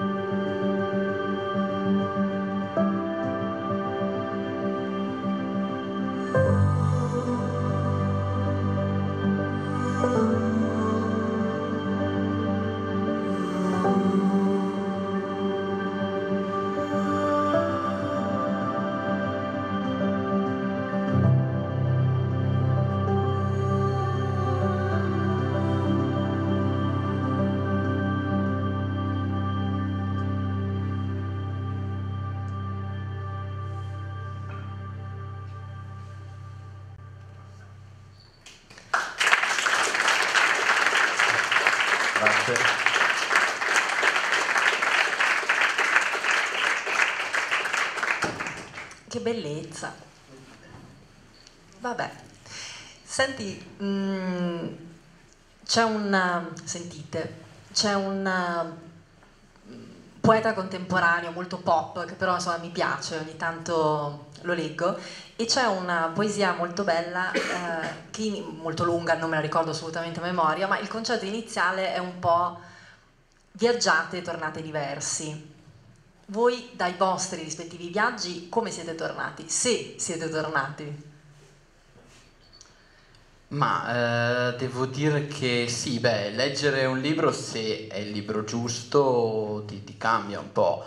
Eh, è un po' retorico dire che leggere un libro ti cambia. Io penso che in realtà eh, il libro ti può dare degli spunti per cambiare se alla fine sei sempre tu che cambi. E immagino che la stessa cosa sia per un viaggio. Eh, il, il, concetto è sempre eh, il tempismo, secondo me, è la cosa più importante. Se quel libro, quel concetto o quelle sensazioni ti arrivano nel momento giusto, nel momento in cui tu avresti voluto eh, che qualcuno te le dicesse o, che, o leggerle, perché leggere alla fine è molto forte come, come cosa, perché è una delle attività uh, più attive che, che, che facciamo nel, uh, nel fruire di una storia o di un racconto. Se lo vediamo siamo sempre molto passivi, eh, se lo ascoltiamo anche perché sì abbiamo la possibilità di immaginarci qualche cosa, ma eh, leggere è quasi tutto opera nostra, alla fine lo facciamo un po' nostro e quindi sì. Beh, poi potremmo dire, potremmo dire che i libri, come i viaggi da questo punto di vista, sono molto curativi, no? Sì, sì, sì, beh, il libro giusto eh, può, può, anche rovinarti la giornata un libro, eh, devo dire, se, se, se, se, è quello brutto, ma quel libro bello sì.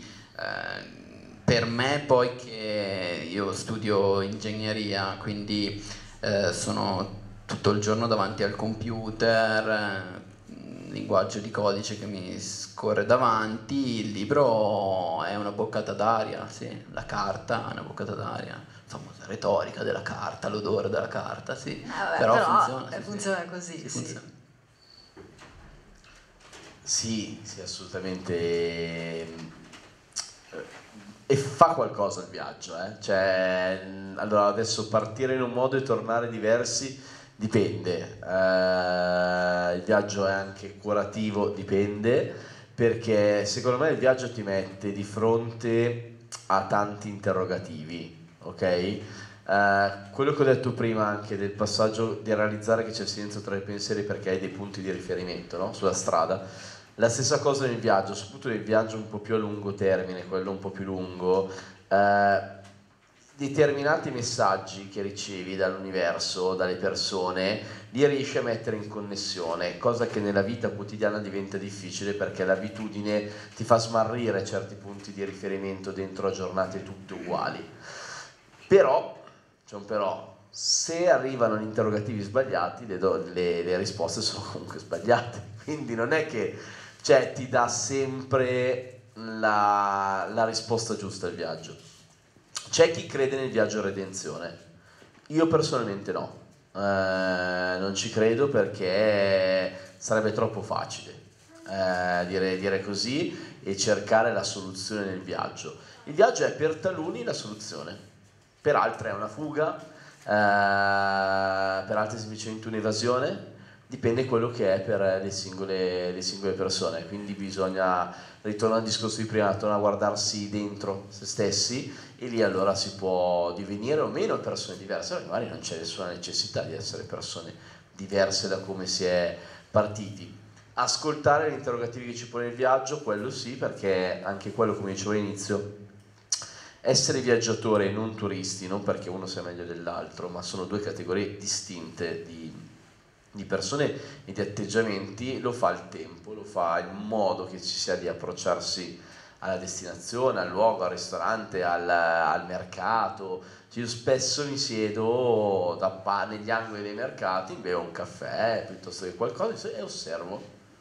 guardo, guardo e ho imparato tante cose delle culture locali, magari sono, sono arrivato prima a determinati atteggiamenti corretti, perché ti fermi e li guardi, vedi come si comportano, vedi come Tipo? interagiscono, ma anche solo il rapporto uomo-donna in determinate culture.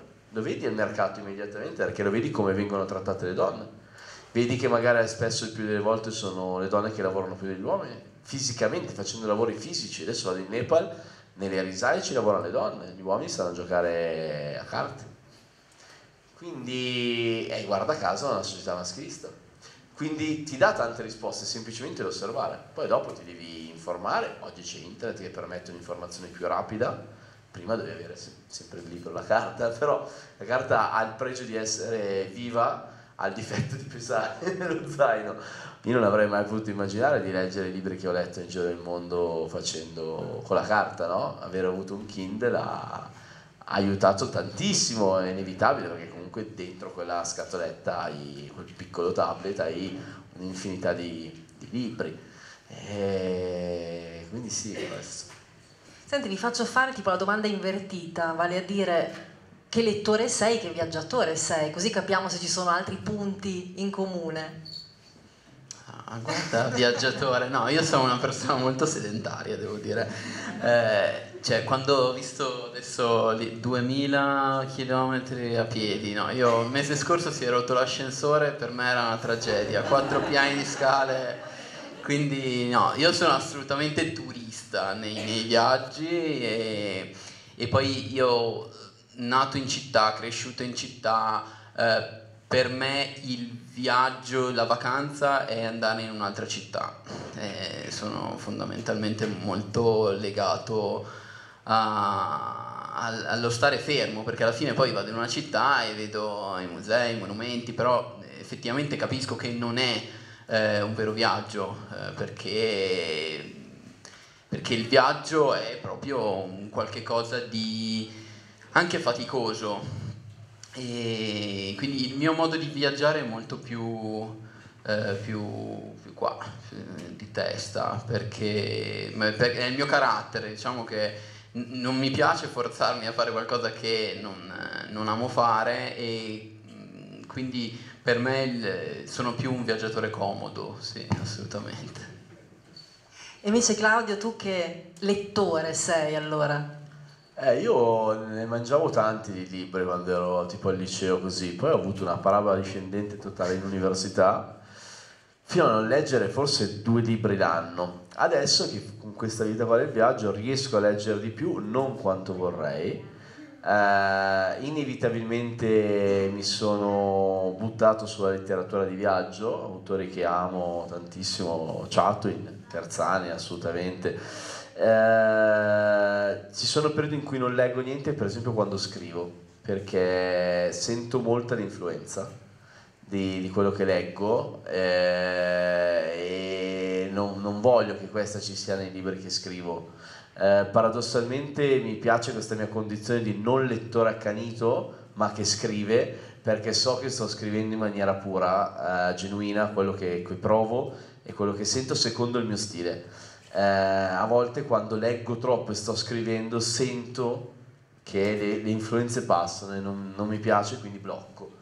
Mi dimentico spesso i libri in giro per il mondo, aeroporti, eccetera. Vabbè, fai felice qualcuno, no? Arrivo, Che lo troverà. esatto, arrivo difficilmente alla fine, ma ne inizio tanti. Ne inizio tanti, sì, sì, sì, sì. sì.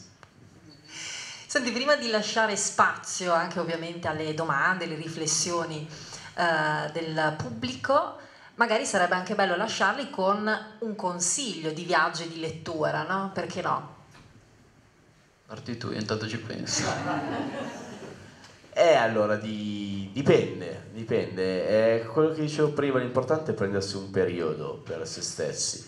Come, come viaggio io credo che l'Asia, eh, in genere comunque il sud-est asiatico, dia eh, un primo input forte al mondo occidentale in cui siamo abituati a vivere noi. È una situazione di base comoda, non, non- non presenta grosse difficoltà, eh, appunto legato al viaggiare in un paese straniero, però dà tanti input e credo che la nostra cultura occidentale porti a far attecchire determinati principi di vita orientale. Eh, sentiamo più forti le nostre mancanze, no? ci mette più di fronte a quello che è in antitesi al nostro, quindi sicuramente uno che viaggia in Asia torna arricchito perché comunque si confronta con una realtà diversa. Se va in quelle parti del mondo si ricordi che comunque è una civiltà millenaria e per quanto ci riguarda anche più antica della nostra perché se la facciamo affiorare più o meno diciamo, all'impero romano, per esempio la cultura indiana, eh, stiamo parlando di un paio di migliaia di anni in più di storia, se, senza considerare quella cinese. Quindi con profondo rispetto, perché a volte culture come appunto quella indiana sono arrivate a principi della fisica che noi ci siamo arrivati con 2000-2500 anni di ritardo circa e magari loro lo raccontavano come religione, noi invece come formula quasi matematica, anzi matematica, però ci siamo arrivati alle stesse conclusioni, quindi grande rispetto, però vedere l'altro punto di vista è interessante, accende delle lampadine, ti porta, ti fa tornare con, con tanti stimoli, quindi sì, direi che consiglierei un, un giro in Asia. E poi fa bene all'anima in qualche modo, no? Poi se avete dei dubbi ovviamente possono anche seguirti perché poi lo sappiamo, organizzi sì, anche un sacco sì, di viaggi in giro per il mondo bellissimi, per cui c'è spazio. Assolutamente, sì, sì, adesso viaggio molto anche con altre persone di gruppo.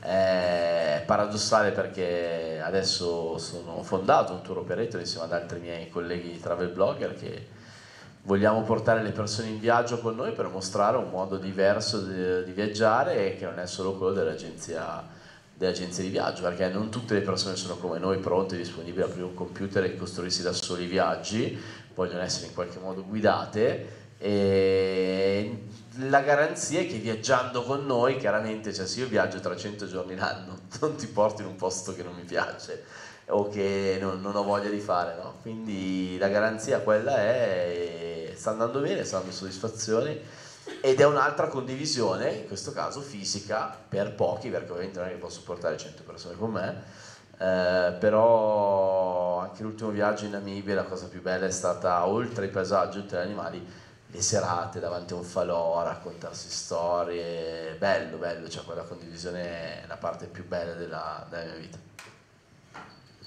Eh, allora, un libro è difficile perché cioè, eh, sempre dipende dai gusti, dipende da quello che uno si aspetta in un libro. Um, provo tre, dai, velocemente. Eh, I ragazzi della Nickel di, Conso- di Colson Whitehead è un romanzo uscito quest'anno. Colson Whitehead ha vinto il premio Pulitzer l'anno scorso, o due anni fa, forse due anni fa. E questo è un romanzo che prende un fatto di cronaca vera, Uh, le tematiche sono quelle del razzismo perché Whitehead è un autore che ha dedicato la, la propria carriera a raccontare storie che abbiano tematiche uh, che parlano di razzismo nel, e la situazione del razzismo negli Stati Uniti ed è una storia uh, molto bella ambientata negli anni 60 nell'America, negli Stati Uniti del Sud, quindi nella parte più razzista degli Stati Uniti. Eh, sempre con i libri che secondo me possono piacere un po' a tutti, Falsa partenza di Marion Messina è un libro, un libro d'esordio di questa giovanissima scrittrice francese ed è secondo me il libro più bello per raccontare questa eh, generazione e i giovani di questa generazione.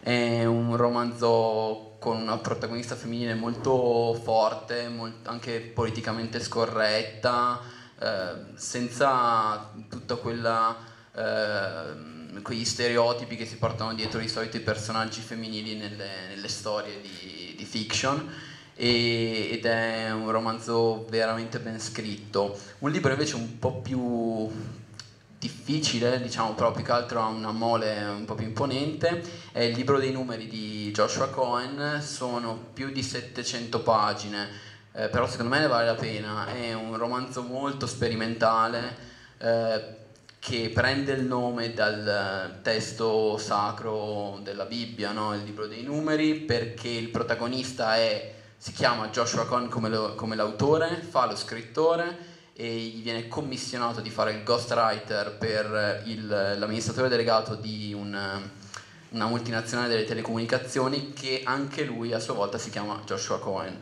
Eh, quindi c'è la tematica del doppio dostoevskiana, c'è questa tematica ebraica perché l'autore è ebreo e il libro dei numeri è il testo della Bibbia dove si parla del censimento eh, degli ebrei eh, e nel, nel libro dei numeri si parla in questo, in questo, romanzo si parla di un motore di ricerca che è in qualche modo il censimento delle parole ed è il modo in cui il digitale cerca di prendere il sopravvento sulla parola mettendola, indicizzandola. E infatti un concetto fondamentale del libro è la, eh, quando il motore di ricerca ti dice forse cercavi questo, eh, quando sbagli a digitare no? di solito su Google ti dice forse stavi cercando questo e mm, quello eh, spesso invece eh, quando il motore di ricerca sbaglia, quando in realtà io non stavo cercando quello, è il momento in cui la parola prende il sopravvento sul digitale e quindi quando si, eh, si vendica di questa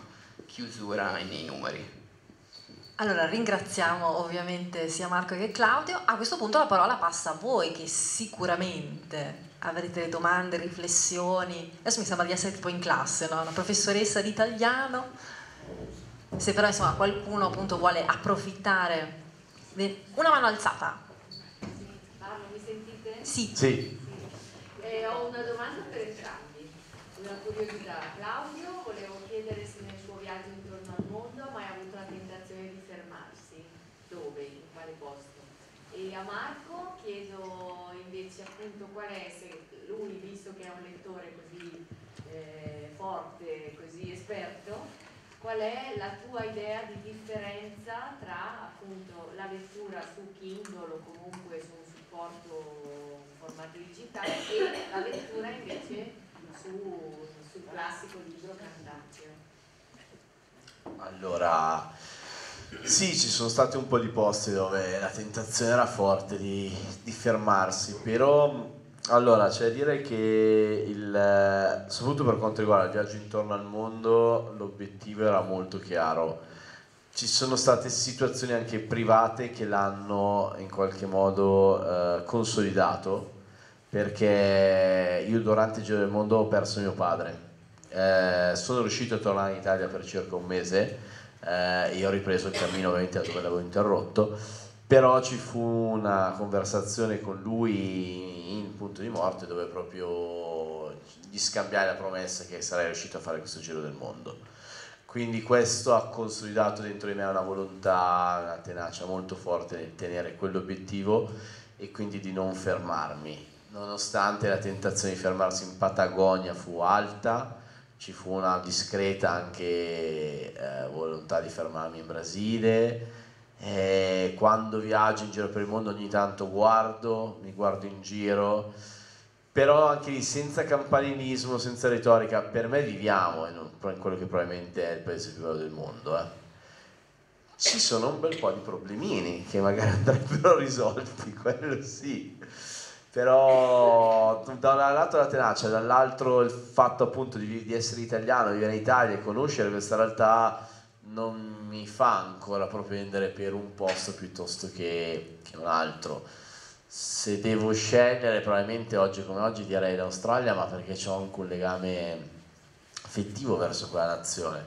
Cioè la nazione che comunque mi ha, mi ha, dato, mi ha dato là, in qualche modo, è significativa eh, al suo interno quella che per me è la città più bella del mondo, che è Sydney, per una serie di ragioni, per qualità della vita, per come si vive, per come vivono la natura, come vivono il futuro anche. Mi piace, mi piace quella, quella situazione, però boh, forse è ancora comunque qua il posto dove stare.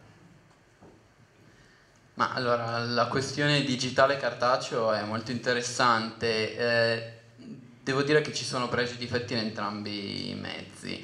Eh, io personalmente amo leggere sul cartaceo, però giustamente mh, il, il, digitale è comodissimo, cioè spesso mi capita anche a me di leggere eh, sul Kindle, di solito però ricompro il cartaceo perché sono malato e quindi eh, ho la casa piena di libri Eh, devo dire che io quando leggo in digitale non sento di averlo letto veramente, però è perché è un'abitudine. Eh, spesso mi capita di finire il libro in digitale senza accorgermene, cioè arrivo all'ultima pagina così, perché magari non avevo guardato che c'era scritto 99%, 98% e quindi secondo me proprio il gesto di girare la pagina a me dà molta soddisfazione, quindi infatti anche il, sono un po' un patito dell'impaginazione, no? se la pagina ha una riga troppo larga o c'è troppa eh, c'è troppo testo, perché alla fine viene studiato anche quello, eh, il ritmo di girare le pagine si rallenta e per, a me cambia, eh, cambia tanto, quindi sì, io sono tutta la vita per il cartaceo, poi però mi ritrovo con le librerie che crollano, con libri ovunque, quindi sì, forse è più comodo il digitale, eh, però sì, no, il cartaceo mi dà un'altra soddisfazione capisco anche eh, tutto quello che c'è intorno al culto del libro ed è importante secondo me mantenere il cartaceo. Vado un po' controtendenza rispetto alla mia generazione, però sì. Grazie. Vediamo intanto magari se ci sono... Ah, oddio, non vedo niente. Prego. Volevo chiedere, ma il vostro canale YouTube come si chiama? Se ha un nome particolare o ha questo nome? Io, Marco Cantoni, per non sbagliare, senza fantasia. Il mio Claudio Trip Therapy.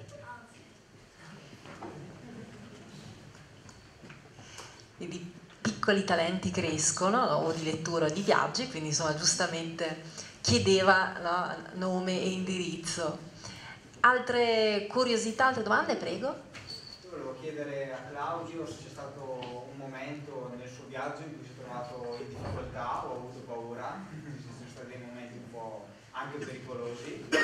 E invece volevo chiedere a Marco come fai a decidere se vale la pena leggere un libro o non leggerlo. Ovviamente perché è difficile, magari uno va in libreria e dice ok questo libro potrebbe interessarmi, questo no, quali sono le caratteristiche che ti dicono ok questo lo leggo, questo no. Allora sì, ovviamente ci sono state difficoltà, eh, da quelle più, tra virgolette, banali, cioè fisiche. Eh, ho contratto per esempio la, la, dengue in Colombia, che è una malattia tipo la malaria, che mi ha buttato giù, vabbè, 40 di febbre per tre giorni, pensavo di non farcela. Uh, situazioni esogene come appunto la scomparsa di mio padre, cioè non, forse è stato più difficile partire dopo il suo funerale che sicuramente lasciare il lavoro e partire in quel contesto. E ci sono stati momenti tipicamente endogeni al viaggio, eh, psicologici proprio, di, di, crollo psicologico in cui non volevo tornare, avevo voglia di tornare, ho sentito la mancanza di, di casa intesa come mancanza delle persone, eh, magari hai voglia di parlare con qualcuno, fare due chiacchiere, ma non c'è il wifi. Magari è notte in Italia, magari, boh, non lo so, ci sono tante... è mancata comunque la presenza fisica delle persone, eh, nonostante poi smetti di avere nostalgia di casa, nel senso non mi ricordo più neanche di che cosa avessi nostalgia, erano più le persone, quello, quello sì. E in Sud America in certi posti c'era, ci stava anche un discorso anche di pericolosità, anche se forse posto dove sono sentito meno sicuro fu Chicago paradossalmente, quindi dipende, dipende anche lì, comunque ci sono stati, come è giusto che sia, insomma uno se avesse paura sarebbe un incosciente, e se invece le paure le affronti nulla è insormontabile. Eh, bella domanda, scegliere il libro è sempre difficile, um, diciamo che eh, quando io, io leggendo tanto posso anche permettermi di sbagliarlo il libro ogni tanto. Eh, però secondo me imparare a capire che cosa ci interessa, che cosa vogliamo trovare in un libro è fondamentale. Io personalmente da un libro eh, cerco un grande stile, una grande voce, perché io poi ho tutte delle velleità da scrittore, quindi eh, cerco di rubare e quindi cerco di prendere delle cose dal libro. Eh, sicuramente l'autore fa tantissimo, quindi ehm, se ho già letto qualcosa di quell'autore ovviamente eh, lo leggo, se mi è piaciuto ovviamente, e se ehm, ho sentito parlare bene del, di quello scrittore, però anche lì sentir parlare bene è abbastanza generico. Eh, mi fido molto del parere degli altri scrittori quando quel parere non è espresso sulle copertine o sulle eh, riviste in modo abbastanza da raccomandazione. Quindi, eh, esatto, cioè quando, quando è un consiglio un po' più spassionato mi fido molto soprattutto quando a degli scrittori chiedono quali sono le tue ispirazioni, quale libro ti ha, ehm, ti ha guidato per, per, scrivere o per, per, imparare, per iniziare a scrivere, quelli sono secondo me dei consigli genuini. L'editore fa tanto. Eh, io consiglio a chi eh, vuole immergersi nel mondo della lettura di conoscere anche il mondo dell'editoria perché fa tanto, soprattutto, come dicevo prima, in un mondo, in un'editoria italiana che vive di sovrapproduzione. Quindi conoscere la linea di quell'editore ti fa già capire il motivo per cui quell'editore ha scelto di pubblicare quel libro. Di solito all'interno di una stessa collana di una casa editrice c'è un filo conduttore e quindi io so già che cosa aspettarmi di base oltre vabbè, le eccezioni, però l'editore e l'autore per me sono fondamentali. Per esempio io sono un lettore anomalo, le quarte di copertina, le, le trame, le sinossi non le leggo mai, non, non mi interessano a meno che non sia un qualche cosa di clamoroso, un caso editoriale, allora però è stato più quel clamore che mi ha portato a quel libro.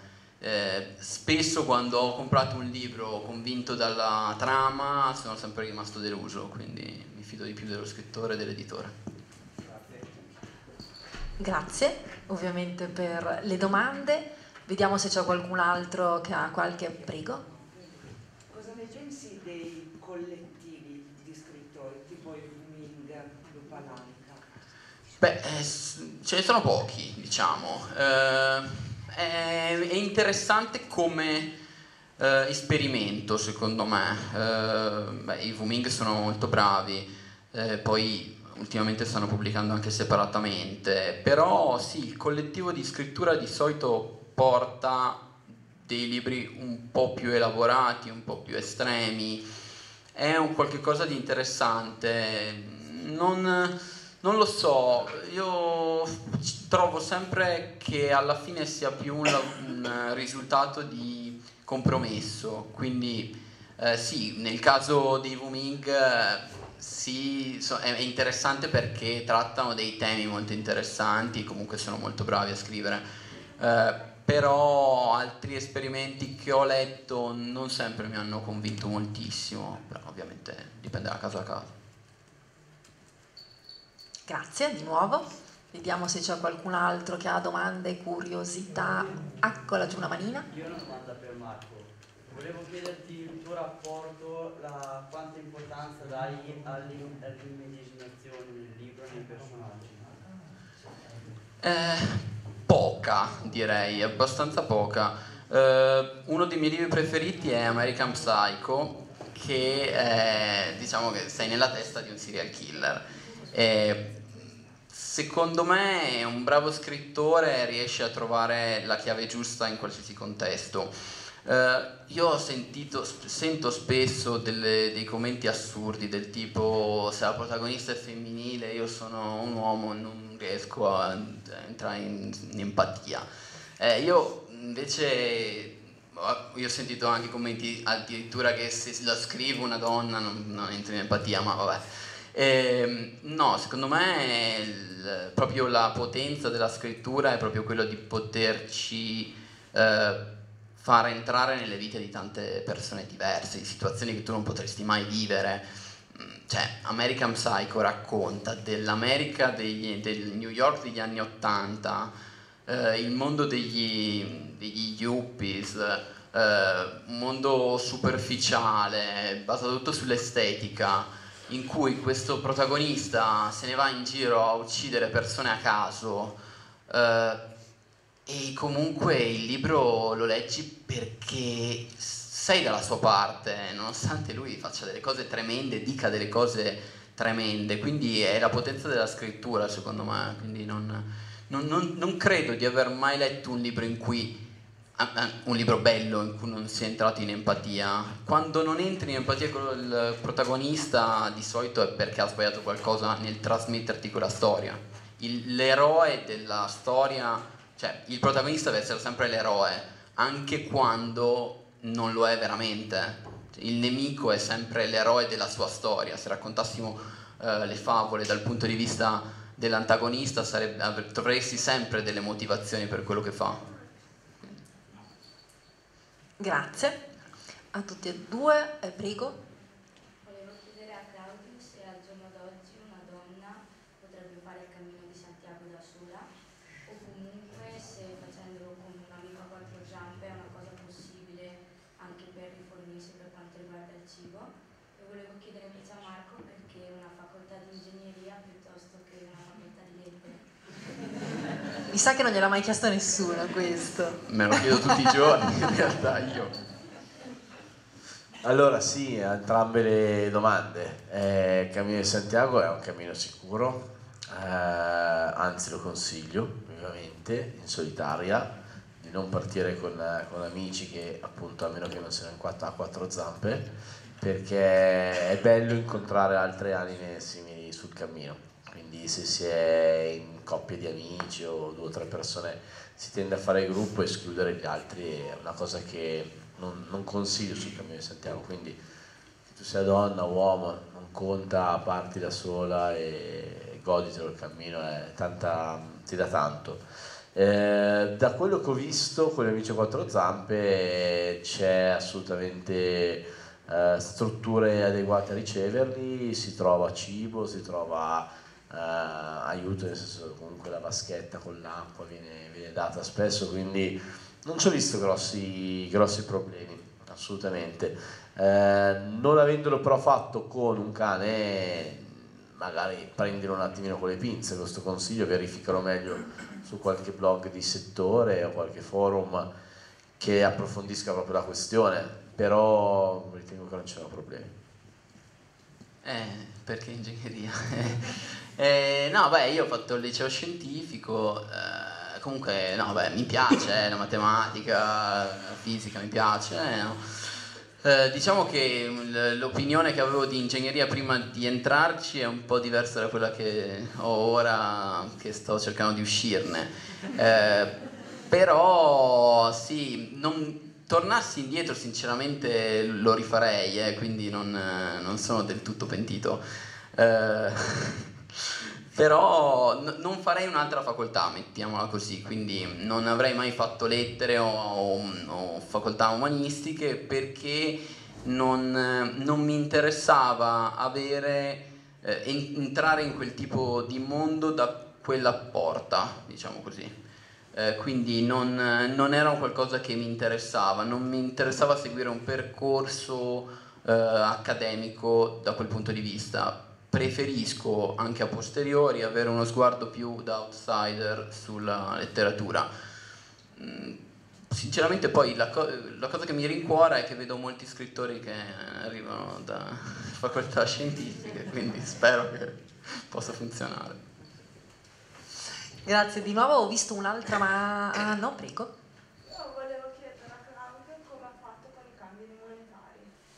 I cambi monetari? No, beh, guarda, è molto più semplice di quello che uno può pensare. Avevo un bancomat, un bancomat internazionale e ritiravo di paese in paese, quindi no, difficilmente mi sono trovato con situazioni di cambi monetari da gestire. Massimo tra paesi confinanti, arrivi con un po' di moneta ancora in essere, la cambi subito alla, alla, frontiera, ma la regola è arrivare sempre con meno soldi possibili perché tanto i tassi di cambio in frontiera sono come quelli in aeroporto, cioè non sono mai vantaggiosi. Quindi ritirare direttamente. Prego. A Claudio che ha fatto il giro del mondo senza l'uso dell'aereo. Una domanda. Io vorrei tornare, ci sono stato una volta ancora in Centro America. Sì. però non vorrei più andarci con l'aereo. Dove sei stato in Centro America? In giro? Nicaragua, Salvador, Guatemala, lì, quei quattro statelli. Sì, sì, sì. È fattibile che uno si interessi a fare il viaggio su un cargo eh, o è Sì, no, no, poi tra l'altro il, ti dirò di più, la tratta atlantica è molto semplice da conseguire un biglietto, perché sono in tanti, soprattutto tedeschi, che vanno in pensione, si comprano il camper, lo fanno portare con una nave cargo mercantile in, eh, in- negli Stati Uniti, in Nord America, si girano tutto il continente americano, nord, centro e sud, stanno via anche 3, 4, 5 anni e poi ritornano con il loro camper e ritornano con un cargo. Quindi la parte atlantica è decisamente più semplice da organizzare rispetto alla parte pacifica. Eh, fermo restando che la parte del Pacifico, se proprio te lo vuoi fare via terra, eh, c'è lo stretto di Bering, eh, comunque attraversabile con le barche, quindi lo puoi fare.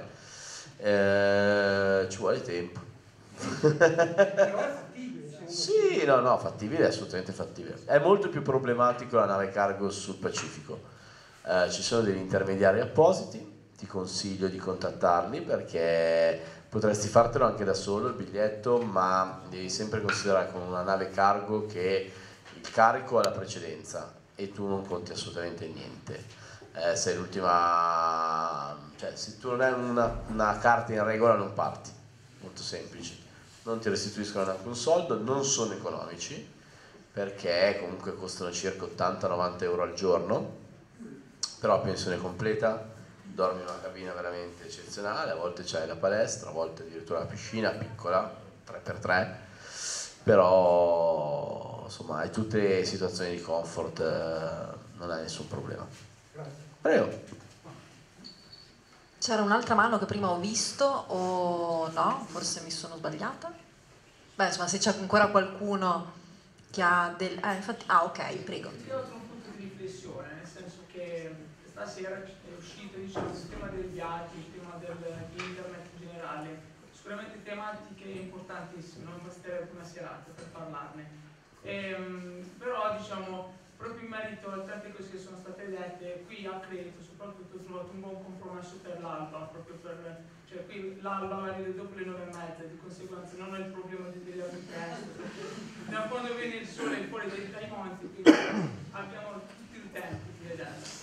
Eh, però quello che volevo chiedervi eh, agli entrambi effettivamente siete pieni di follower, se magari come la politica entra diciamo, in modo prepotente nel, tra i mezzi di comunicazione più importanti, quali appunto gli audiovisivi, anche i libri ultimamente, c'è gente che scrive.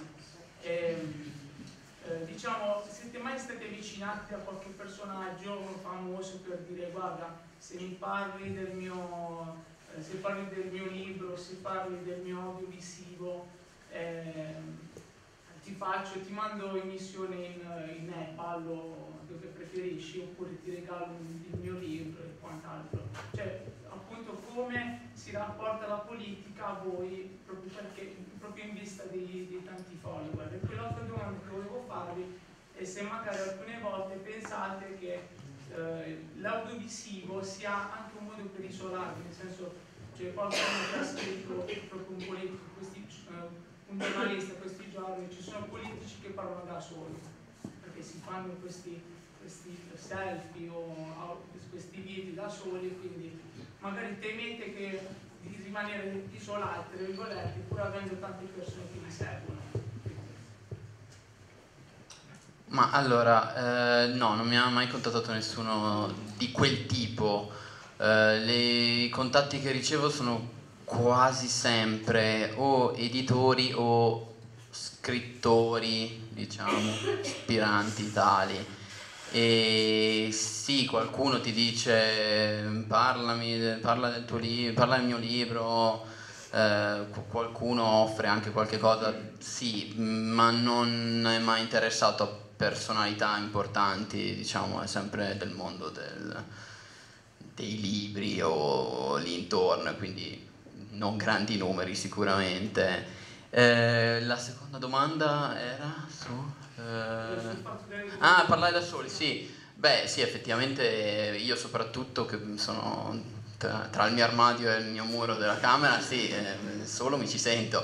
Eh, per, però di base non, non ricerco nei follower o nelle persone che commentano i video eh, un, una compagnia o qualcuno che mi dica bravo, cioè non, non lo faccio per quello, quindi se ci, se ci, sono o non ci sono mi cambia poco sinceramente. Eh, cerco qualcuno con cui parlare di cose con cui non parlo, che non, non riesco a esprimere con nessun altro, quindi sì, eh, ma non, di, di, base i numeri non è che mi, mi cambiano la vita, sinceramente, anche perché non facendolo di lavoro posso permettermi di, anche pensare con una relativa tranquillità la questione numeri. Allora, eh, io non ti nascondo che nell'ambito locale, quindi io sono di Piacenza, Piacenza città, sia stato avvicinato per eh, possibilità politiche, nel senso eh, sono state esplorate determinate mie convinzioni e se potevano essere piegate a determinati interessi politici. E no, sempre rifiutato mm, perché non, eh, francamente ho molta sfiducia nella classe politica e nella politica attuale fatta in questo modo, in questa giungla di informazioni come adesso, cioè in questo preciso stato, momento storico. Eh, non credo di poter dare qualcosa, eh, penso di poter dare molto di più in altro modo, adesso. Eh, non c'è mai stata una volontà di veicolare un messaggio, quello mai, c'è stato probabilmente quello che sì, era un personaggio molto seguito dalle mie città, c'erano delle elezioni future e allora si è detto ma magari forse no. Però la mia risposta è stata, è stata negativa. Eh, non lo biasimo nemmeno come atteggiamento perché ci sta nel senso comunque oggi non guardare internet significa essere miopi. Eh, un altro caso molto attuale eh, io lavoro principalmente con Instagram, ho lavorato tantissimo con Facebook, poi vabbè Zuckerberg ha, chiamato, ha cambiato l'algoritmo, quindi si lavora meno. E ho sempre lavorato con YouTube in fase sempre di, di crescita molto lenta, ma sono stati questi tre canali principali. Oggi si parla di TikTok che è l'app dei, dei giovanissimi e sento tanti miei colleghi perché inevitabilmente se ne parla si dice raga ma tu sei andato e hai visto cioè ci si scambia opinioni perché lo guardiamo con, con interesse con curiosità no? e tante volte sento no no è roba da ragazzini eh, attenzione se tu guardi il numero di utenti fa più utenti che il TG5 delle 8 e allora voglio dire eh, non guardare non curiosare, non provare a vedere, poi non, probabilmente io non andrò mai su TikTok perché non è il mio modo di, di comunicare, non si, non, si, non si confà a me, al mio modo, a quello che racconto, però non andarci a vedere secondo me è sbagliato a priori, quindi che i politici vadano a guardare l'ambito social secondo me può essere anche sinonimo di intelligenza, poi dipende sempre che utilizzo ne fanno, come in tutte le cose ma come l'utente normale, no? Se tu sei schiavo, e così mi collego anche alla seconda domanda, dei social, per cui tuo è solo un apparire lì e a cercare l'approvazione solo lì, eh, beh, poi dopo è normale che ti chiudi rispetto al mondo esterno, ci vuole, secondo me, un buon compromesso. Io per esempio la mia vita veramente privata sui social non la metto ne sento quasi, eh, sentirei l'esigenza quasi di avere una pagina mia privata, l'ho provato anche ad aprirla, poi dopo me l'hanno fatta chiudere perché qualcuno pensava fosse un furto di identità, non è vero, però è successo perché avevo l'esigenza di dire vabbè ma io non guardo, non vado più su Facebook e su Instagram per vedere quello che fanno i miei amici, come fanno probabilmente la maggior parte delle persone, no? Perché è diventato il lavoro. È diventato un momento in cui se pubblico, se scrivo qualcosa, comunque arrivano le risposte, eccetera, e non riesco neanche ad andare nel feed degli, degli altri. Eh, quindi lì il rischio c'è, il rischio c'è perché come sempre è, è l'utilizzo delle cose, come appunto viaggiare oggi con internet. Se tu viaggi guardando solo il tuo smartphone, guardando solo le indicazioni di Google Maps non, non, via- non stai viaggiando. Se invece a un certo punto lo appoggi lì, ti guardi in giro, guardi, osservi, eh, allora stai viaggiando in qualche modo. E poi scegliti pure l'hotel attraverso Booking, chi se ne frega. Cioè, però certi spiriti vanno, vanno tenuti, no? E lo stesso nella vita, vita quotidiana, o appunto, visto mi sembra di capire che sei abbastanza ferrato dal punto di vista politico, comunque è una cosa che ti interessa, eh, perché no, vanno bene determinati modi di utilizzare lo strumento per fare politica, perché vabbè, penso che la nostra realtà italiana sia molto sintomatica di questo, perché il Movimento 5 Stelle è nato da internet e oggi comunque è una realtà molto importante nel paese, quindi eh, non si può, loro sono stati i primi, no? Sono stati derisi da come hanno usato i social, da come hanno usato internet e poi sono arrivati comunque eh, a contare nel Parlamento assolutamente, quindi deridere o non utilizzare i social attualmente è, è miopia pura. Trovare il modo giusto di utilizzarlo è un altro paio di maniche. Grazie. Siamo ormai direi in chiusura, insomma, a meno che proprio qualcuno non abbia l'ultima domanda magari da fare, altrimenti potete comunque approfittare del nostro Marco e del nostro Claudio. Io ringrazio entrambi, Grazie. Marco Cantoni, Claudio Pellizzani. Grazie.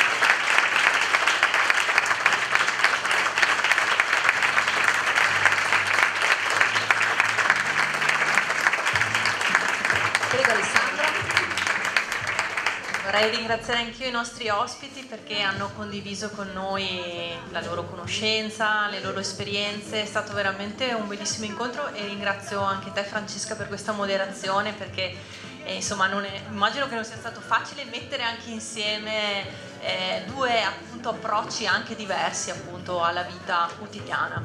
E vorrei ringraziare e anche presentare Silvia dell'Istituto d'Arte Andromeda